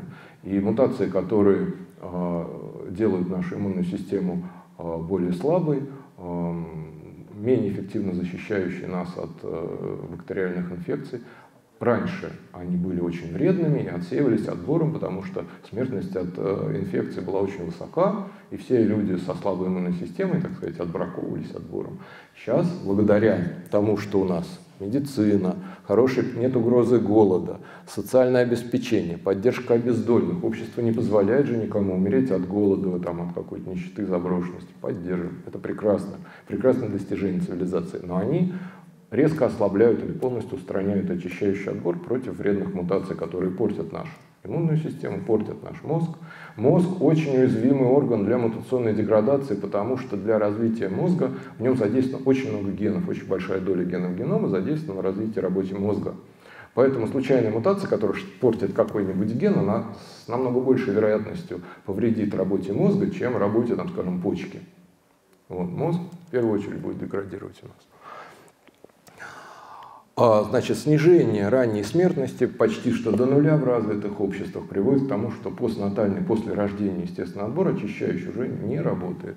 Все дети э, выживают, все доживают до зрелости, получают шанс э, завести свою семью, оставить свое потомство – со всеми своими вредными мутациями, которые они передают следующим поколениям. И, собственно, эти мутации с эволюционной точки зрения, они уже не вредны, потому что они не снижают дарвинскую приспособленность. Они вредны в том плане, что они ухудшают качество жизни, э, сокращают жизнь, но они не уменьшают количество детей, то есть э, количество, э, эффективность передачи своих генов следующим поколениям они не снижают. То есть с эволюционной, с дарвинской точки зрения эти мутации уже не вредны, но нам неприятно их иметь. Вот. И опять же, из-за того, что э, все выровнялось, э, социальное обеспечение, все дети выживают, все дети доживают, женятся, рожают своих детей, качество потомства перестало влиять на дарвинскую приспособленность современных людей в цивилизованных обществах, а влияет теперь только количество. Вот раньше, в доиндустриальные времена, есть такие тоже новые, новые данные, которых я не успеваю рассказать, очень интересные, которые показывают, что раньше все-таки, до, до промышленной революции, качество потомства тоже влияло на приспособленность. То есть, если э, вы нарожали много детей, ну, в аграрном обществе, если вы нарожали много детей, у вас будет меньше ресурсов заботиться о них, они, э, ну и больше будет отсев, больше этих детей умрет в, в младенчестве и так далее. И поэтому э, ну, выгоднее с эволюционной точки зрения было рожать не очень много детей, но вкладывать больше ресурсов, лучше заботиться, дать им образование, обеспечить их там, как, ну, хорошим питанием и так далее, и так далее, условия для развития. И тогда у вас внуков будет в итоге больше, чем если вы нарожаете кучу, но заботиться будете плохо. Так было раньше. В современном обществе, как бы плохо родители не заботились о своих детях, благодаря обществу, благодаря развитой цивилизации, никто все равно из детей, конечно же, не умрет, все вырастут, все школу закончат, все получат возможность детей нарожать. Поэтому с эволюционной точки зрения качество потомства перестало знать. Только количество. Вот кто больше рожает, тот лучше свои гены распространяет. Точка. Из-за этого, опять-таки, эм, из-за этого вот этот отбор против аллелей, ассоциированных с способностью э, и успехом, становится только более эффективным, намного более эффективным. Значит, дальше выравнивание возможностей, социальная справедливость, вот это пенсии, э, забираем богатых, отдаем бедным, чтобы все, все были, имели хороший высокий уровень жизни. Вот, то есть, чтобы э, не было бедных, нищих в общем, это прекрасно чему это приводит с эволюционной точки зрения? К тому, что из имеющейся изменчивости по способностям и жизненному успеху устраняется средовая компонента. Но неравенство все равно будет. Но не может так быть, чтобы у всех был одинаковый доход, одинаковое все. Вот то неравенство, которое сохраняется в условиях общества социальной справедливости, оно в основном будет генами объясняться. Вот это вроде бы такой парадокс, но для генетики это, в общем-то, общее место. Если мы выравниваем условия для популяции, то оставшаяся в ней фенотипическая изменчивость, это будет в основном наследственная изменчивость. А соответственно отбор по таким признакам будет более эффективен, потому что наследуемость признака возрастает. Отбор будет более эффективен. И, соответственно, аллели, будут, аллели способствующие ну, тому или иному признаку, будут быстрее э, накапливаться, их частота будет быстрее расти в генофонде. Средства планирования семьи, которые стали доступны всем, в общем-то, где-то с 20 с начала 20 века, они приводят к чему?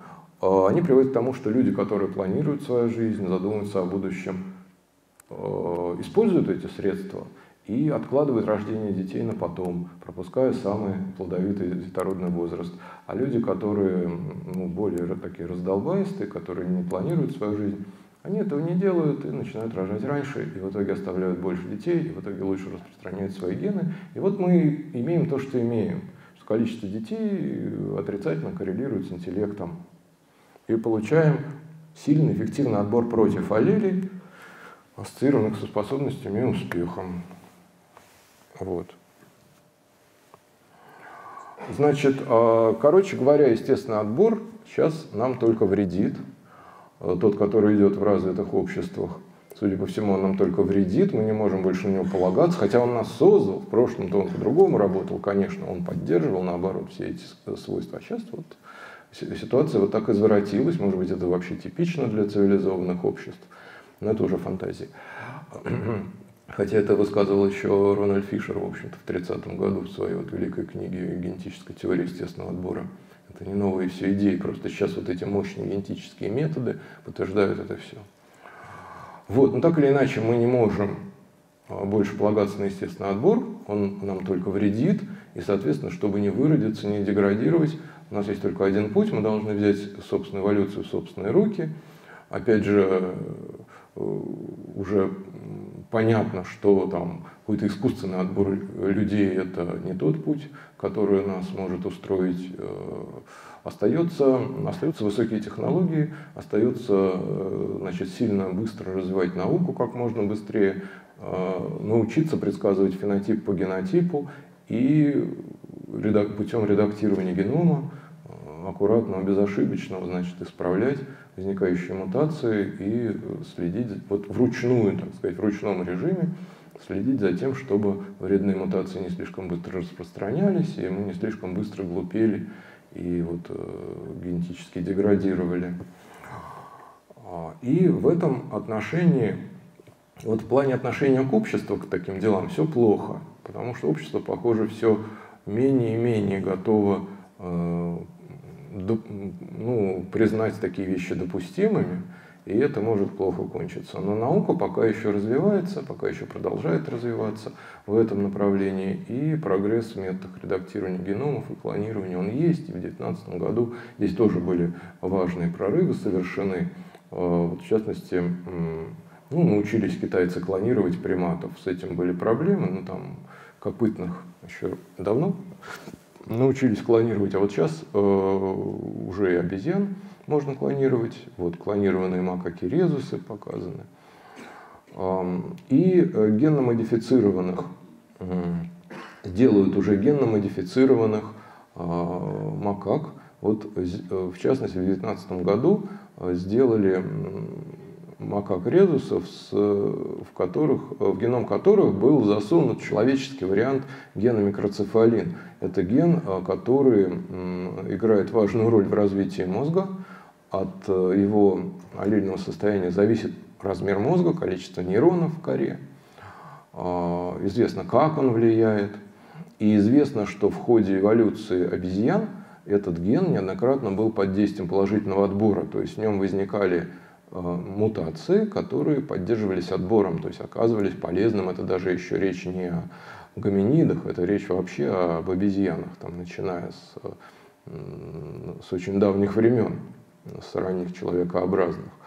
И известно, что повреждение этого гена у современных людей приводит к микроцефалии, мозг получается гораздо меньше, чем нужно. То есть, короче, это явно очень важный для, для мозга ген. И у человека один вариант этого гена, у макаки резуса другой. И вот сделали макак с человеческим э, вариантом гена микроцефалин. Ужасно интересно, конечно, это всем, хотя, может быть, и не очень-то этично, но э, в Китае такие вещи пока еще э, возможны.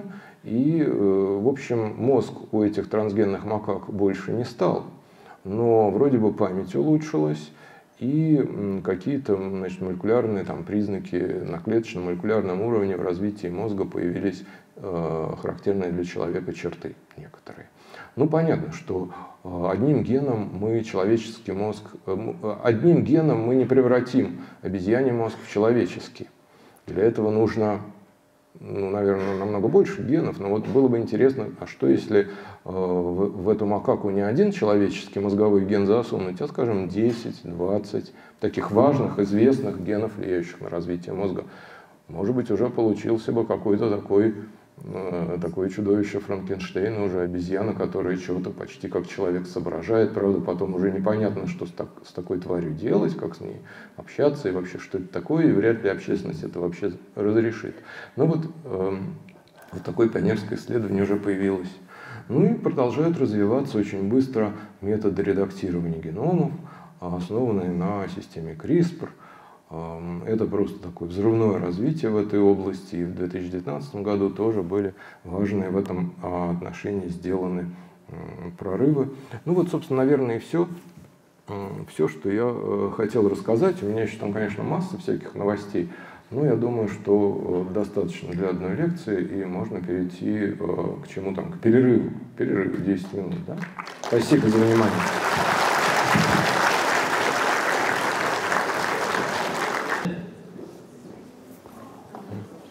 Здравствуйте, Александр. Во время главы о эволюции современного человечества вы упоминали про гены, связанные с получением, с вероятностью получения более высокого уровня образования, с вероятностью более высокого уровня дохода, интеллекта. Кстати, что такое уровень интеллекта, это тоже интересный вопрос. В общем, когда вы говорили про то, что эти гены дают преимущество в меритократическом обществе. И в менее меритократическом они могут не давать такого преимущества, у меня возникла мысль, что существуют ведь качества, которые могут давать преимущество, связанные с мозгом, немного другого рода. Такие как способность ориентироваться в социальной обстановке, заводить связи между людьми и договариваться Слышали ли вы про исследования о подобных качествах человеческого ума?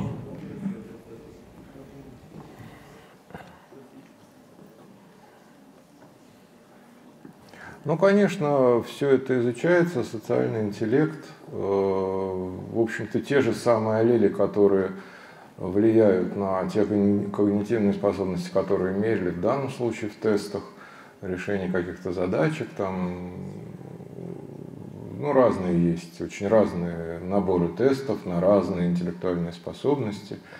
Вот. Э, и, в принципе, все это друг с другом коррелирует. Ну, то есть э, положительные корреляции э, достаточно сильные прослеживаются между способностями человека, между разными когнитивными способностями, в принципе, должен, по идее, положительно коррелировать там, социальный интеллект с каким-то с пространственным мышлением, с решением, там, с математическими способностями. Между всеми этими способностями, как правило, прослеживается заметная положительная корреляция, что вообще позволяет говорить о таком теоретическом конструкте, вот как фактор G, там, общий интеллект. Вот, то есть я осторожно бы предположил, что все то, что здесь сказано про интеллект в целом, это, в общем-то, наверное, к социальному интеллекту тоже э, в какой-то мере приложимо, скорее всего. То есть это не то, чтобы совсем принципиально разные вещи. Это есть просто мозг с высокой функциональностью, мозг с менее высокой функциональностью.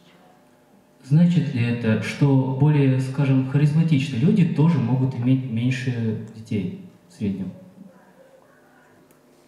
Ну, это не исключено, но я специальных э, работ не знаю на, на, на эту тему, чтобы вот такой признак, как харизматичность, оценивался с помощью вот э, подобных методов полногеномный поиск ассоциаций, но можно было бы провести, если бы как-то это можно было э, измерить, измерить эту харизматичность. Да?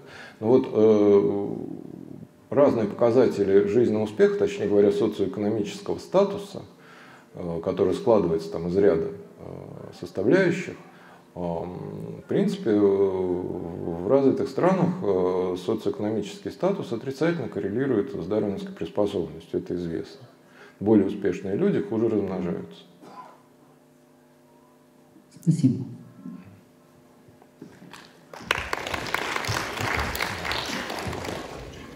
Вечер, спасибо за лекцию большое. Вот, э, у меня э, такой вопрос возник. Ну, допустим, э, какие-нибудь там эволюционные биологи, ну, грубо говоря, там, э, Центавры прилетели к нам 5 миллионов лет назад, у нас по саваннам, значит, бегают э, парианы в перемешку с обрезованными кошками, по опушкам сидят эти небольшие обезьянки орхидотеки, и были предпосылки для разумности у них есть, но не факт, что они станут разумными. Они могут там в пранзаков пойти, они могут в лесу остаться. Вот если 100 тысяч лет назад, то у нас тут есть несколько видов уже э, очень специализированных э, охотников-собирателей, э, которые, ну, уже 100% кто-нибудь из них изобретал абстрактное мышление, потому что домашних животных расы цивилизации были способны, в конце концов.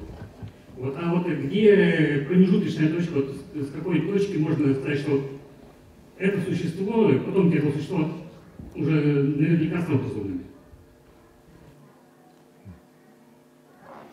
Конечно, очень интересный вопрос, на который нет пока точного ответа, как вы понимаете. Значит, нас что-то подхватило, вот ранний Homo подхватил какой-то очень сильный направленный эволюционный процесс где-то 2 миллиона лет назад. И вот пошло, пошло, пошло, пошло. Начиная с Homo habilis, начиная с алдуайской культуры, вот это пошло. Рост мозга и развитие культуры сначала устрашающе медленное, а потом все быстрее, быстрее, быстрее с ускорением развивалась культура. То есть э, культура развивалась вот так, а мозг развивался, мозг развивался ну, э, без, ну, без ускорения, а под конец с замедлением. Э, и вот как был устроен этот уникальный эволюционный процесс, который создал вот первый на, на нашей планете разумный вид, это как раз большая, очень интересная научная задача, э, которой ученые ищут подходы и мы в том числе сейчас пытаемся работаем над моделью. Вот э, меня очень сейчас привлекает идея. То есть понятно, что в этом процессе э, стремительного разрастания мозга последние 2 миллиона лет эволюции рода Homo были задействованы какие-то положительные обратные связи. Это было не разовое событие, то есть что-то изменилось, там образ жизни, раз увеличился. Нет, он увеличился упорно на протяжении двух миллионов лет. И он увеличился втрое, втрое по объему за 2 миллиона лет. Это чудовищно быстро. И значит, что действовал отбор. То есть более, э, э, то есть почему-то более э, мозговитые индивидуумы, индивидуумы с более крупным мозгом получали сильное селективное преимущество на протяжении двух миллионов лет. И мозг становился все больше, больше, больше. Несмотря на то, что это очень дорогой орган, он и технические проблемы создает, голова тяжелая, ее как держать надо на весу. И при рождении детей он очень большие проблемы создает. Это очень дорого. Иначе он, э, в общем-то, иметь э, хорошую соображалку всем животным, наверное, было бы полезно, но это дорого, поэтому никто по этому пути не, идет, не пошел пока, кроме нас. Вот. И что это была за положительная обратная связь? То есть, то есть почти наверняка можно утверждать, что э, рост мозга каким-то образом создавал предпосылки, причины для дальнейшего роста мозга на протяжении двух миллионов лет. Вот. И есть ряд гипотез по поводу природы этих положительных обратных связей. И одна из них мне больше всего нравится, это гипотеза так называемого культурного драйва или э, самоускоряющейся, самоподдерживающейся коэволюции мозга и культуры. Значит, э, суть этой идеи в том, что э, значит, социальное обучение – это передача каких-то навыков, каких-то привычек, э, каких-то способов поведения от одной особи к другой путем копирования, подражания или целенаправленного обучения. Вот это все называется социальное обучение. И чем э, выше способность вида к социальному обучению, тем больше у него будет вот того, что называют культурные традиции, то есть каких-то вариантов поведения, которые передаются э, от особи к особи и более-менее устойчиво сохраняются в популяции. Так вот, если какой-то вид попада... если какой-то вид уже с каким-то необходимым минимумом способности к социальному обучению попадает в такие условия, что а, появляется возможность изобретать много разных новых полезных способов поведения – и если эти разные способы полезного поведения, одни из них полезны индивидуально вот этой особи, а другие полезны всей группе, которой принадлежит эта особь, это все работает только у социальных видов. Значит, а, и должна быть еще острая межгрупповая конкуренция то вот тогда может начаться этот автокаталитический процесс, который выглядит примерно так. Значит, появляется какое-то, кто-то изобрел какое-то новое сложное хитрое поведение, которому нужно учиться – и э, оно начало передаваться. Кто-то э, кто у изобретателя перенял, кто-то у него там потом тоже научился. И это очень полезно, очень повышает э, приспособленность либо на индивидуальном уровне, либо на групповом. Вот когда в культуре группы появляется такое знание, то это порождает отбор на улучшенные способности к социальному обучению, потому что тот, кто быстрее и лучше этому научился, тот больше оставил потомков. Или группа, которая есть знатоки, вот этого, например, этой технологии, там, ну, например, изготовления алдувайских каменных орудий или что-то еще. А, значит, те оставляют, лучше распространяют свои гены. То есть наличие ценной культурной информации порождает отбор на улучшенную способность к социальному обучению. А когда у всех станет чуть получше способность к социальному обучению, то а, это повышает вероятность того, что какие-то новые изобретения тоже не будут сразу забыты, потеряны, а тоже сохранятся в культуре. И таким образом культура становится богаче. А культура становится богаче, там больше полезных знаний. Соответственно, еще выгоднее становится особям иметь еще более а, эффективные, а, мощные способности к социальному обучению, запоминанию всего этого. И нужно еще соображать, решать какие-то новые задачи, возникающие в связи с новыми способами поведения. Отбор на когнитивные способности способствует развитию культуры, а развитие культуры способствует еще более сильному отбору на когнитивные способности. Вот это называют культурный драйв или коэволюция мозга и культуры. И мы сейчас с помощью э, компьютерного моделирования пытаемся разобраться в том, какие условия необходимы для того, чтобы этот процесс запустился и пошел, и какие условия необходимы для того, чтобы он был максимально эффективен, то есть чтобы мозг в итоге вырос сильнее всего. И вот как раз э, результаты моделирования показывают, что э, те условия, которые, по-видимому, для этого необходимы, как раз, э, ну, они хорошо согласуются с тем, что нам известно про социальное устройство и экологию ранних хомо, но не других обезьян. Вот. Эти результаты, надеюсь, нам скоро удастся опубликовать. Спасибо.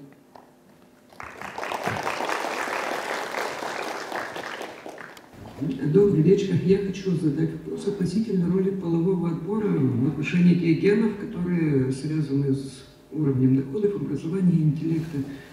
как э, он может действовать? Либо скомпенсировать эту элиминацию, либо, напротив, э, запустить механизмы с положительной обратной связи и ускорить их элиминацию? Ну, э, половой отбор, как работает половой отбор у человека, это очень интересная тема. Для современных людей, возможно, для гоминид уже с очень давних пор вообще э, характерен, характерен высокий родительский вклад в потомство, и в том числе высокий отцовский вклад в потомство и формирование достаточно устойчивых пар.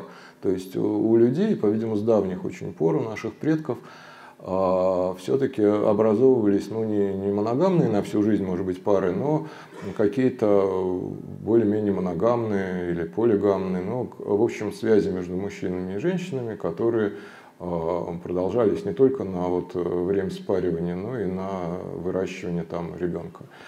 И, соответственно, а, в таких условиях половой отбор, эм, его работа достаточно специфична. То есть он не будет, скорее всего, приводить к развитию каких-то павлиних хвостов у самцов, а, потому что для этого нужна совсем другая структура семейных отношений. Вот при моногамии, значит, эм, там будет возникать положительная ассортативность по привлекательным признакам.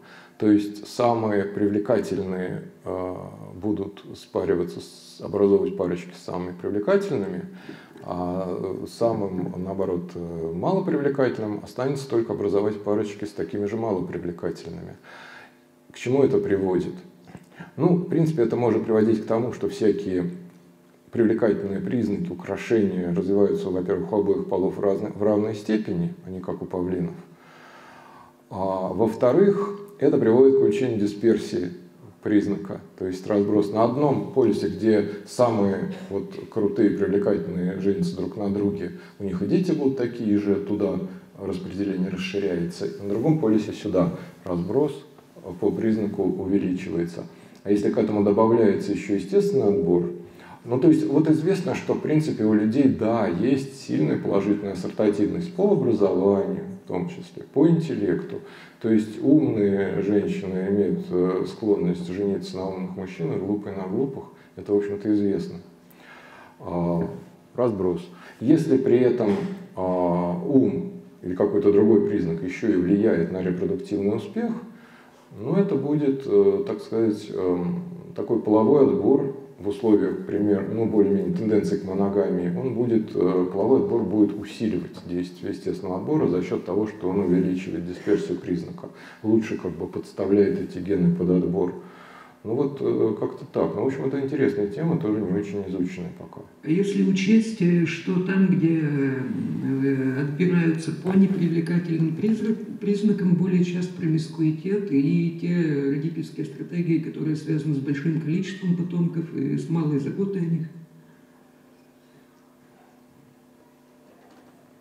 Ну вот, не знаю, э, это надо насчет промискуитета изучать, просто не знаю таких работ. Но вот то, что они сейчас больше, вот, вот в нижней части спектра больше детей производится, ну, соответственно, вот частота аллелей смещаются эффективно в сторону, так сказать, преобладания аллелей, которые э, способствуют э, пониженным ну, шансам на успех, пониженным умственным способностям и так далее.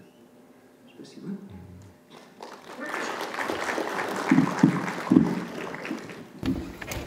Добрый спасибо за лекцию. И вот у меня вопрос немного не по теме. Я сейчас в таком возрасте, когда очень важен выбор профессии, поэтому я бы просила описать вашу профессию. Как вы в нее пришли, какие плюсы и минусы, чем вы занимаетесь? Ой, ну это долгая песня, знаете. Ну, вкратце. Ну, сначала, ну, меня биология с э, раннего детства привлекала, поэтому я ну, поступил на биофак, да, пошел на кафедру зоологии беспозвоночных. Э, эволюционные вопросы меня все сильнее привлекали, там в зоологии беспозвоночных масса интереснейших эволюционных именно вопросов. Потом, э, ну, жизнь-то просто так сложилась, что я оказался не в зоологии, а в палеонтологии, в аспирантуре палеонтологического института. Э, занимался морскими ежами, но я занимался современными ископаемыми морскими ежами, их эволюцией. Вот, то есть сначала я был таким узким специалистом по одной группе животных, по некоторым семействам морских ежей. А потом как-то постепенно стал расширять сферу своих интересов, пытался анализировать. Тогда как раз было время, когда создавались первые большие базы данных по палеонтологии, которые позволяли анализировать количественные закономерности макроэволюции. Ну, прежде всего, морских животных, морской фауны, фанеразовая динамика разнообразия, массовое вымирание, причины и факторы роста, снижения разнообразия и так далее. А этим я занимался довольно долго. Потом, к концу 90-х, как-то совсем стало хреновенько у нас в науке. Денег практически не платили, жить было не на что. У нас все-таки там трое детей уже было к тому времени. А, я какое-то время даже подался а, однокурсница, которая уехала в Америку, пыталась, ну, организовала, в общем, в итоге достаточно э, успешно такую стартап и информатическую компанию, которая ну, ну, ну, это был бизнес, но я не участвовал в этом бизнесе. Я был директором вот, московской группы, которая делала, собственно, продукт, там, базы данных по биохимическим путям, по генам человека. Это еще геном человека был не прочтен к тому моменту. А, два года этим занимался, это расширило кругозор. Потом я сбежал оттуда, потому что понял, что это все-таки не, а, не мое, что я все-таки хочу заниматься наукой. Вот. И э, я продолжил какие-то... Да, я, я, тогда я начал понемножку заниматься, где-то с 2003 года я начал заниматься популяризацией науки. А, и оказалось, что это, в общем, достаточно интересно и неплохо у меня получается. Потом вот э, книжки стал писать научно-популярную науку, я не бросал при этом.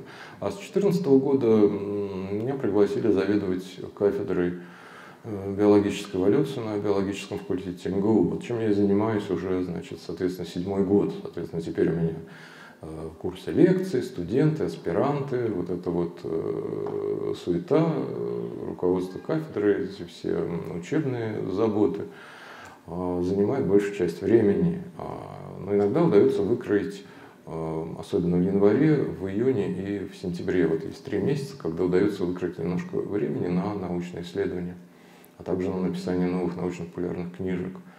Вот. Описал свою трудовую биографию в двух словах. У вас есть какое-нибудь уже свое открытие?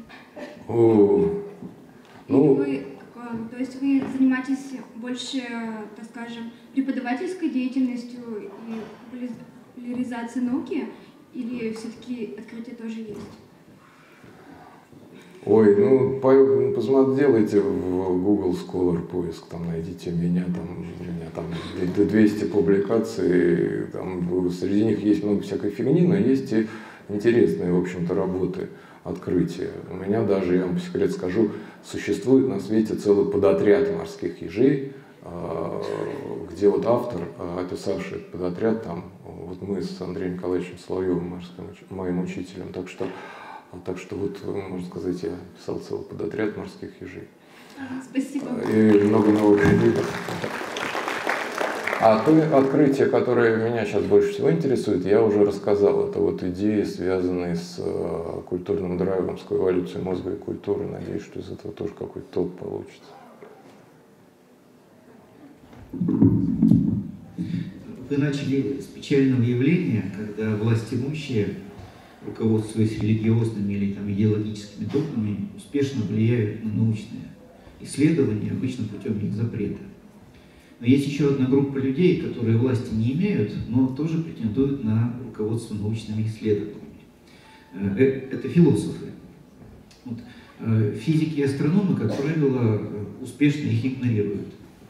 А как в биологии? Вы чувствуете, что вам необходима философская поддержка? Вот вы на перепутье и не знаете, куда дальше двигаться, и находите луч света в трудах философов.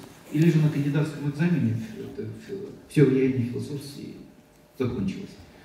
Ну, честно сказать, если то, в общем, да, на кандидатском экзамене все закончилось. Я в философии ничего не понимаю и не знаю, каким боком она может помочь. Но мне приходилось пару раз там делать какие-то доклады там, про биологию, про эволюцию на философском факультете, я там немножко общался с людьми оттуда, не знаю. У меня был один знакомый, который тоже биолог, биофизик, который очень интересовался философией. Он говорил, я вот пока не могу разобраться, но все же говорят, что философия такая вот важная наука. Я, я думаю, что если я разберусь в философии, то я ну, смогу более правильно думать о своих научных проблемах.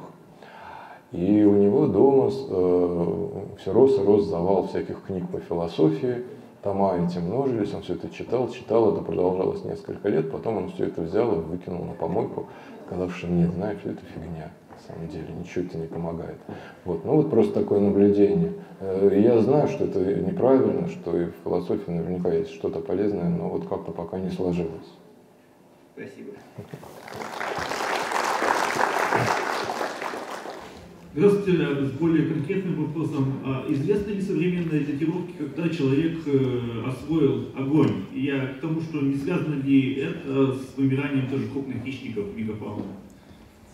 Ну, может, может и связано, то есть с помощью огня могли тоже отгонять какими-то горящими ветками. Но прямых э, хищников от добычи, прямых подтверждений этому нет. Но что касается, когда освоили огонь, то точно совершенно это было сделано на стадии э, Homo erectus и не позднее, чем миллион лет назад, а возможно и полтора миллиона лет назад. В общем, диапазон неопределенности от миллиона до полутора.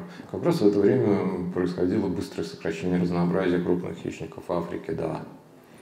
Вот. Точно есть следы контролируемого использования огня э, возрастом миллион лет в одной пещере в Южной Африке недавно описаны. И есть чуть-чуть более сомнительные следы использования огня возрастом там, до полутора, даже до полутора с хвостиком миллионов лет, тоже все Африка. Так что это не исключено, но не доказано, скажем так. Спасибо. Здравствуйте. У меня вопрос не совсем по теме лекции, скорее такого фантастического толка. Э, недавно ознакомился с вашей позицией по проблеме резкого изменения климата. И вот, допустим, что мы, как человечество, научились контролировать э, концентрацию парниковых газов в атмосфере и, соответственно, э, ушли от всяких рисков, которые связаны с быстрым потеплением. И перед нами может встать такой вопрос, что в глобальном плане, в сфере развития, поддержания биосферы планеты мы можем начать постепенное медленное э, нагревание, чтобы э, увеличить площадь поверхности, которая благоприятна для размножения и развития э, природы, или нам э, стоит, ну, текущий климат, он является оптимальным для развития жизни и поддержания ее, и нам, наоборот, стоит сопротивляться изменениям климата, которые вызваны какими-то естественными причинами. Я не, не все понял в вашем вопросе, но я сейчас попробую э, сформулировать свою позицию.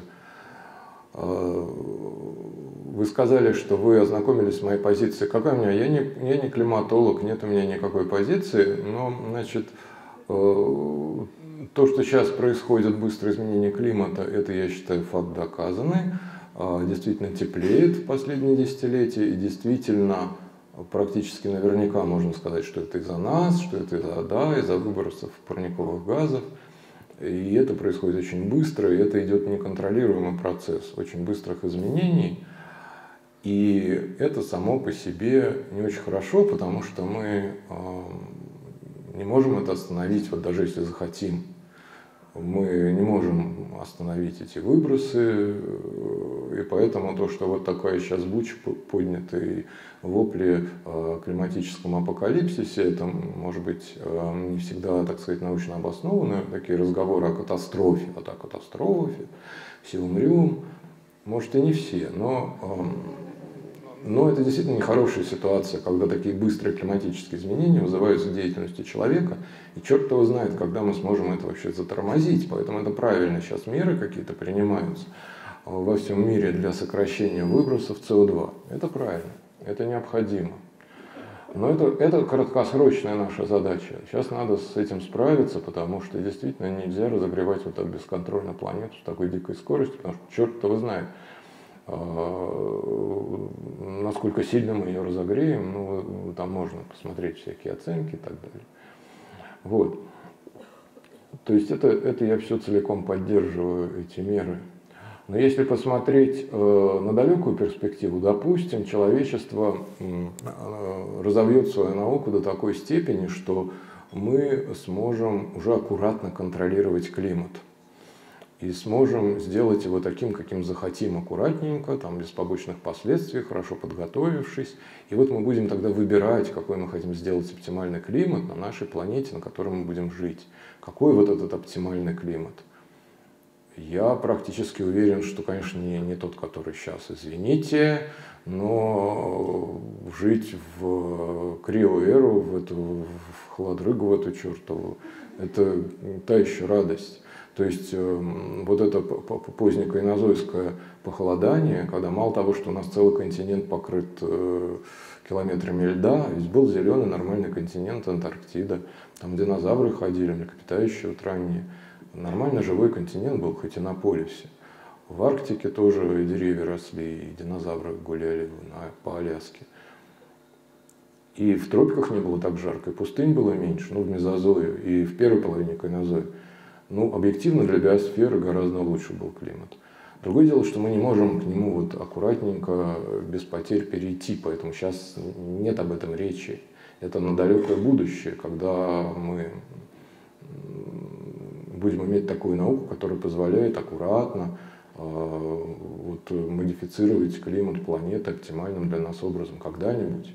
Если развитие науки продолжится через тысячу лет, через десять тысяч лет – мы к этому придем. А сейчас, сейчас наша задача сохранить наше вот это вот межледниковье, маленькое, вот климат, к которому привыкла цивилизация, чтобы он сильно не, э, чтобы его сильно не колбасило, пока мы не умеем им управлять нормально. Задача вот остановить это безобразие, которое сейчас начало происходить из-за того, что мы э, нафигачили в атмосферу столько СО2, сколько там не было уже много миллионов лет. Вот как-то так. Спасибо. Коротких конкретных вопроса. Первый о трансгенных обезьянах. А, скажите, внедрение гена происходит на ранних этапах дробления зиготы или уже в стволовых клетках какой-то ткани? Или это сложно сказать? Не совсем Ой, честно говоря, нет, я просто, я, я, я читал эту статью, разбирался, но что-то у меня вылетело из головы. Не, ну, я думаю, на уровне, ой, когда же они это внедряли-то? На какой стадии? Не, ну на очень ранних каких-то, э, на стадии зигота или вот, э, короче, забыл я. Хорошо, Забыл. Еще один вопрос давно мучает почему ДНК имеет способность так длительно сохраняться. Сегодня вы уже сказали, что некоторые белки, коллагены в частности, тоже способны к этому. А вот именно ДНК, ведь там те же химические элементы, те же химические связи, ковалентные, водородные. А что в ней такое особенное, что она может сотни тысяч лет сохранять свою э, целостность?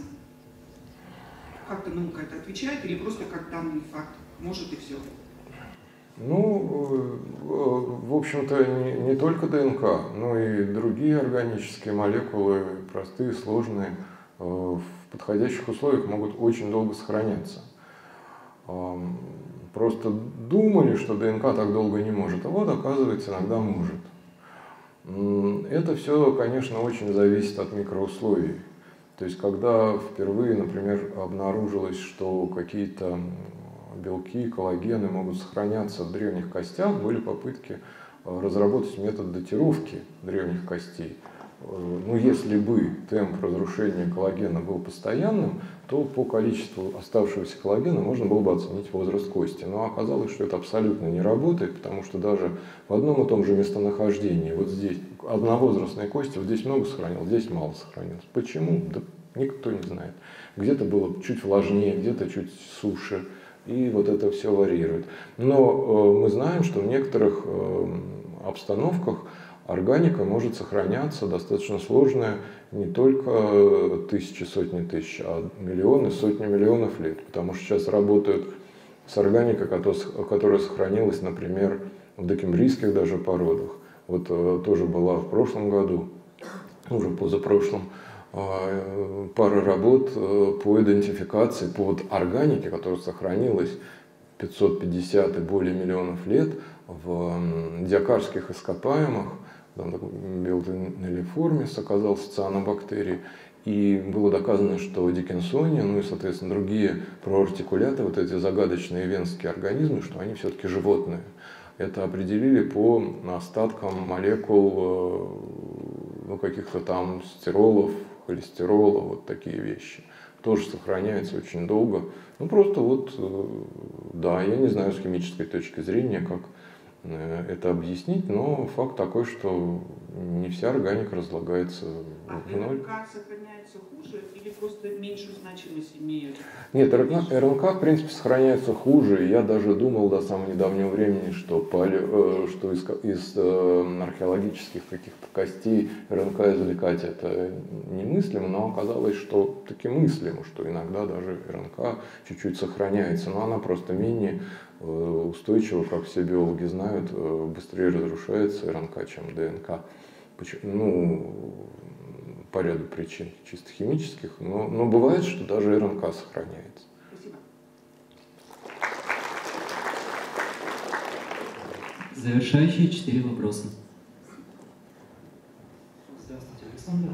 А, очень понравилась ваша книга «Перспектива отбора». А, там хорошо разбиты глав, одна глава, одно исследование.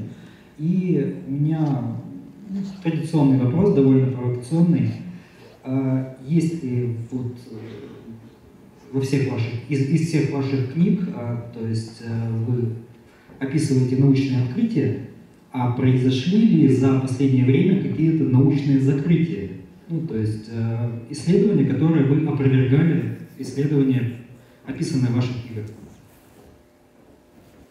А, именно которые описаны в книгах? Ну, ну, ну или просто очень яркие, которые вам нравятся.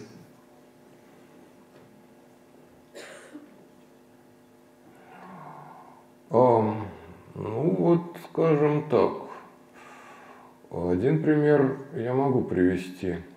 Я не помню, вошло ли это в книгу, скорее всего вошло. Вот в нашей э, книге,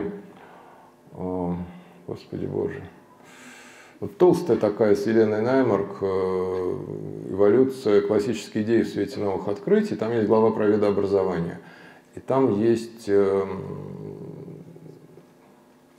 ну, скорее всего, есть э, история про то, как репродуктивная изоляция у, ну,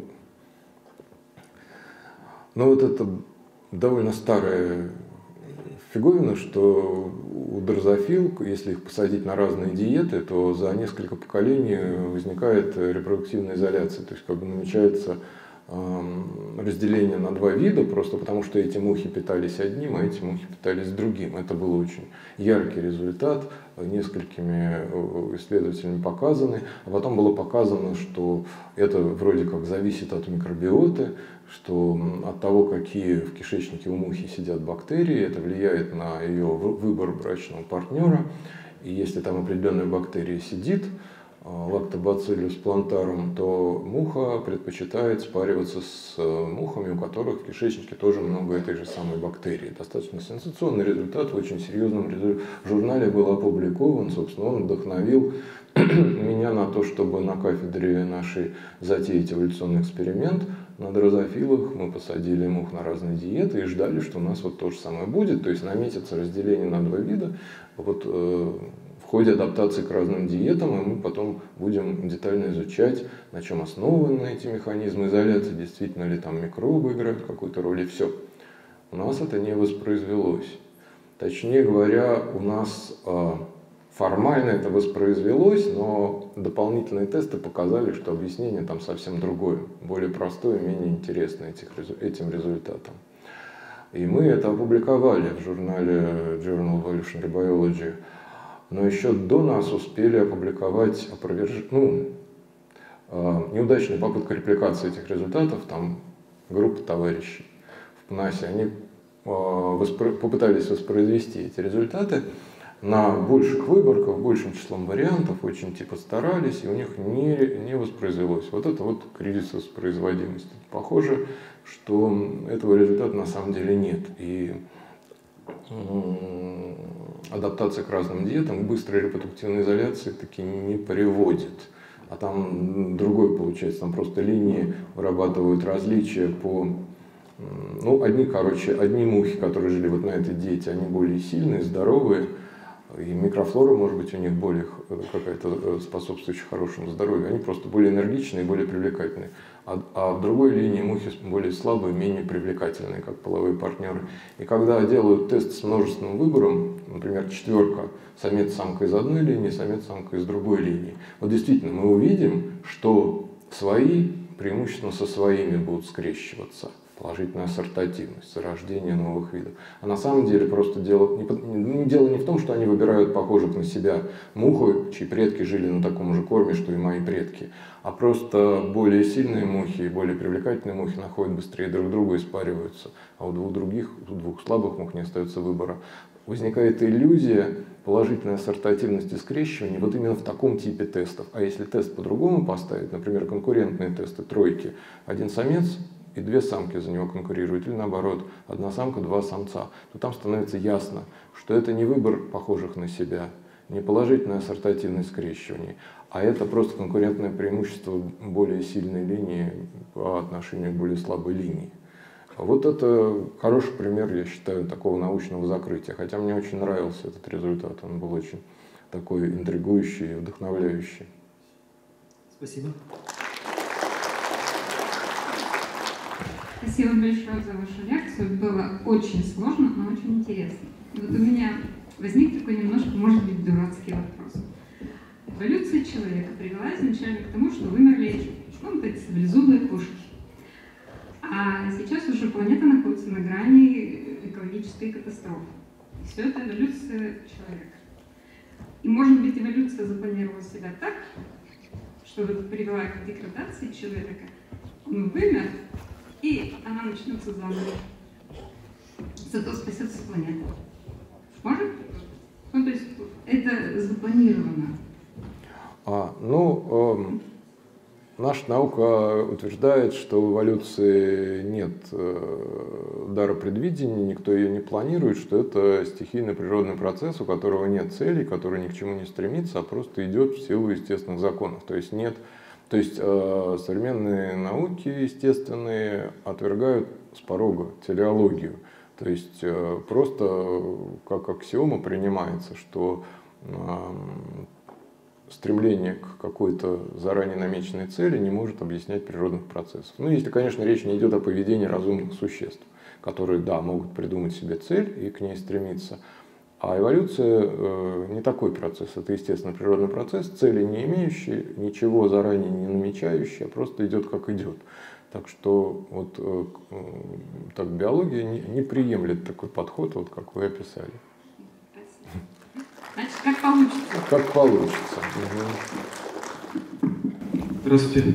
Скажите, пожалуйста, вот про британских ученых говорили, что сейчас эволюционный набор не идет в пользу развития способностей человека. А, и вы отметили, что нам надо брать, ну, нам, ученым, видимо, все человечество в будущем, брать это под свой контроль. То есть это, ну, я так понимаю, уже искусственный отбор производить. А не сведется ли это на генетическом уровне как бы, к ре реинкарнации науки Евгеники, когда людям запретят ну, заключать браки с определенными людьми. Вот как соблюсти вот этот конфликт между свободой воли человека и развитием человечества в целом. Это первый, если позволите, второй, очень короткий. А, вот, насколько я понимаю, Ричард Токинс, а, идея его, что а, единицей вида человек, ну, вида живого можно назвать не человека, к примеру, а ген. А человек рассматривает, человек рассматривает как ассоциацию генов и биологический скафандр. Вот просто ваше отношение к этому. Ну, нормальненький у вас коротенький, простой вопрос. Так, первый вопрос был про Евгенику. Ну, э, э, идея искусственного отбора людей, она по многим причинам очень плохая, и она очень непопулярная, и человечество вряд ли ее примет. И, в общем, эти ужасные попытки это применить на практике в начале 20 века, они произвели сильное впечатление на человечество. И надеюсь, что это не будет повторяться. То есть искусственный отбор людей – это очень плохая идея. Нет, я говорю, что единственный нормальный путь к решению наметившихся проблем – это ну, вот индивидуальный подход, с, связанный с редактированием геномов, с отбором эмбрионов, с, может быть, там какими-то медицинскими рекомендациями, ну просто если людям будут говорить э, супружеским парам, скажем, делать генетический анализ и выдавать им э, вероятности того, что у них, э, у детей будут какие-то проблемы, да, и они уже будут сами решать стоит им с такими проблемами, стоит ли им идти на эти риски, там что-то такое. Или вот, например, как можно победить отбор против э, людей, которые думают о карьере, получают образование, откладывают рождение ребенка, то есть заводят первого ребенка не в 18 лет, а в 28, а если вы заводите первого ребенка не в 18, а 28, вообще в ту секунду, когда вы начинаете думать, а не стоит ли э, погодить с рождением ребенка, в эту самую, как только у вас в голове появляется эта мысль, знаете, что ваша дарвиновская приспособленность сделала вот так вот, бух, и шансы ваших генов попасть в следующее поколение обрушились. Вот, как с этим можно побороться? ну вот э, исламское исследование 2017 года, оно показывает, как бы, ну, то есть э, можно из него сделать такой вывод, что есть достаточно простые вещи. Замораживание гамет. А э, люди, которые делают карьеру, пропускают свой репродуктивный возраст. Они бы и хотели, они даже после 30 лет по рождаемости, они обгоняют немножко людей с там, с низкой генетической предрасположенностью к получению образования, там было про генное образование, эта работа, после 30 лет они даже немножко обгоняют по рождаемости, но просто поздно поезд уже ушел, самый фертильный период пропущен. Если бы они замораживали гаметы, а, они бы могли и в 30, и в 40, и в 50, и в 60 даже лет заводить детей, и может быть тогда этот отбор, вот просто хорошая, надежная технология замораживания гамет позволила бы рожать нормальных детей в более позднем возрасте, и просто появление на рынке такой возможности э, могло бы ослабить или даже вовсе прекратить этот отрицательный отбор против хороших генов, который идет в развитых странах. То есть есть гораздо более гуманные методы противодействия, чем устраивать естественный отбор людей. Второй по поводу Докинса. Так, геноцентрический подход к эволюции – это, ну, как бы это не одна такая маленькая идейка, это глобальная такая, не знаю, парадигма, там вот какие-то громкие слова здесь нужны. А, это, в принципе, способ, позиция, с которой мы смотрим на эволюцию, она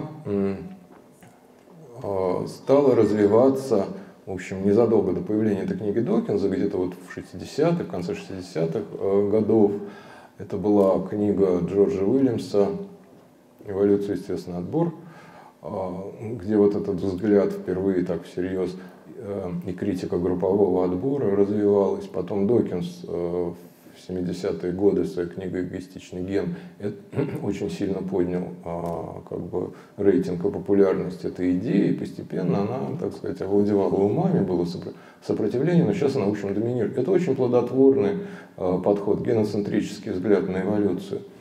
А, он, конечно, модифицируется со временем, уточняется. То есть во многих отношениях полезно и продуктивно действительно рассматривать эволюцию на уровне генов, а не а, индивидов, организмов. Потому что действительно бывают случаи, когда эволюция идет как бы на благо гена, а не на благо даже организма. Бывают такие ситуации. Они довольно редкие, но бывают все же. А, то есть ген только дай возможность, он покажет свой эгоизм, даже против организма может пойти. А, но обычно они этого не могут, потому что они связаны одной цепью, они могут размножаться только все вместе. Это заставляет их кооперироваться.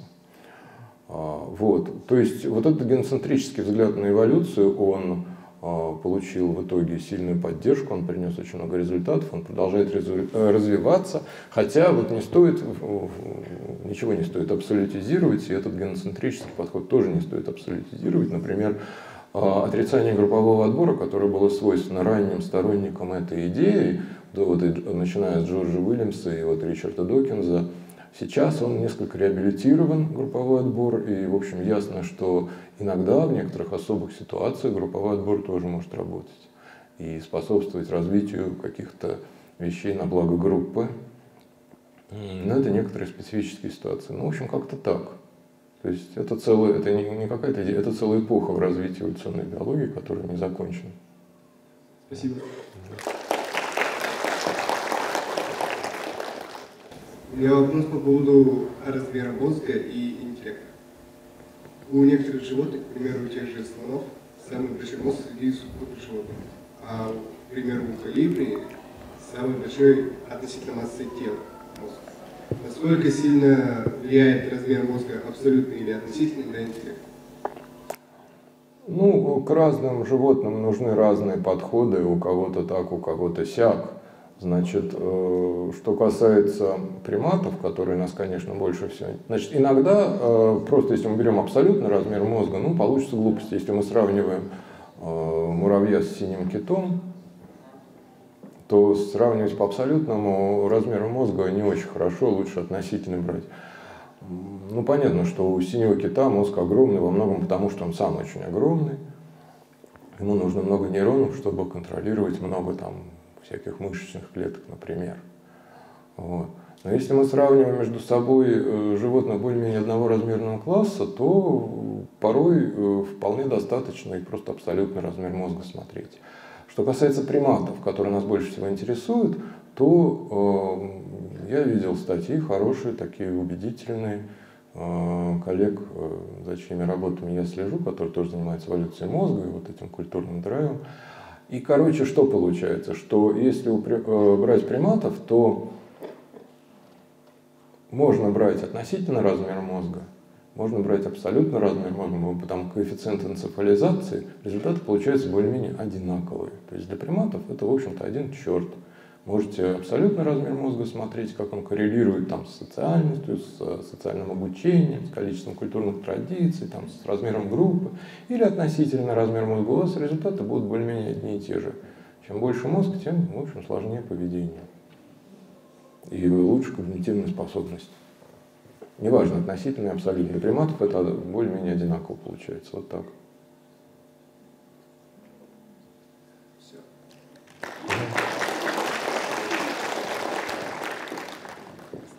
Большое за очень интересную лекцию и очень конкретный вопрос. А, существуют ли а, в настоящее время работы для преодоления а, высоковероятностной наследственной патологии ну, путем аккуратной коррекции гена?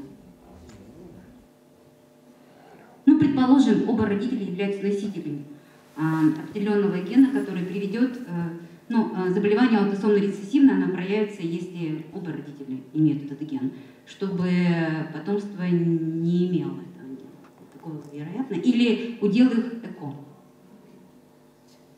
Ну так вот ЭКО это хороший, хороший ну, путь. понятно. А, а что вам нужно еще? Вот делаете несколько этих, получаете несколько зигот там, и отбираете потом как, те, у кого... То есть ЭКО, все-таки ЭКО, да, получается? Ну почему только? Ну можно CRISPR отредактировать, если вам не нравится ИКО. Но на данный момент ИКО как-то понадежнее будет. А в будущем, в ближайшем, вполне могут быть разработаны э, достаточно безопасные технологии редактирования при помощи CRISPR. Только я не вижу, чем это будет все равно лучше, чем ИКО и отбор эмбрионов. А сейчас вот э, китайские ученые, как известно, отредактировал геномы двух а, значит, э, девочек, да, чтобы сломать им ген, э, который, если его сломать, то вероятность заболеть СПИДом, значит, снижается. Но это известная история. Но только вот даже в Китае за это на три года в тюрьму посадили. Понятно. Спасибо большое. Ага.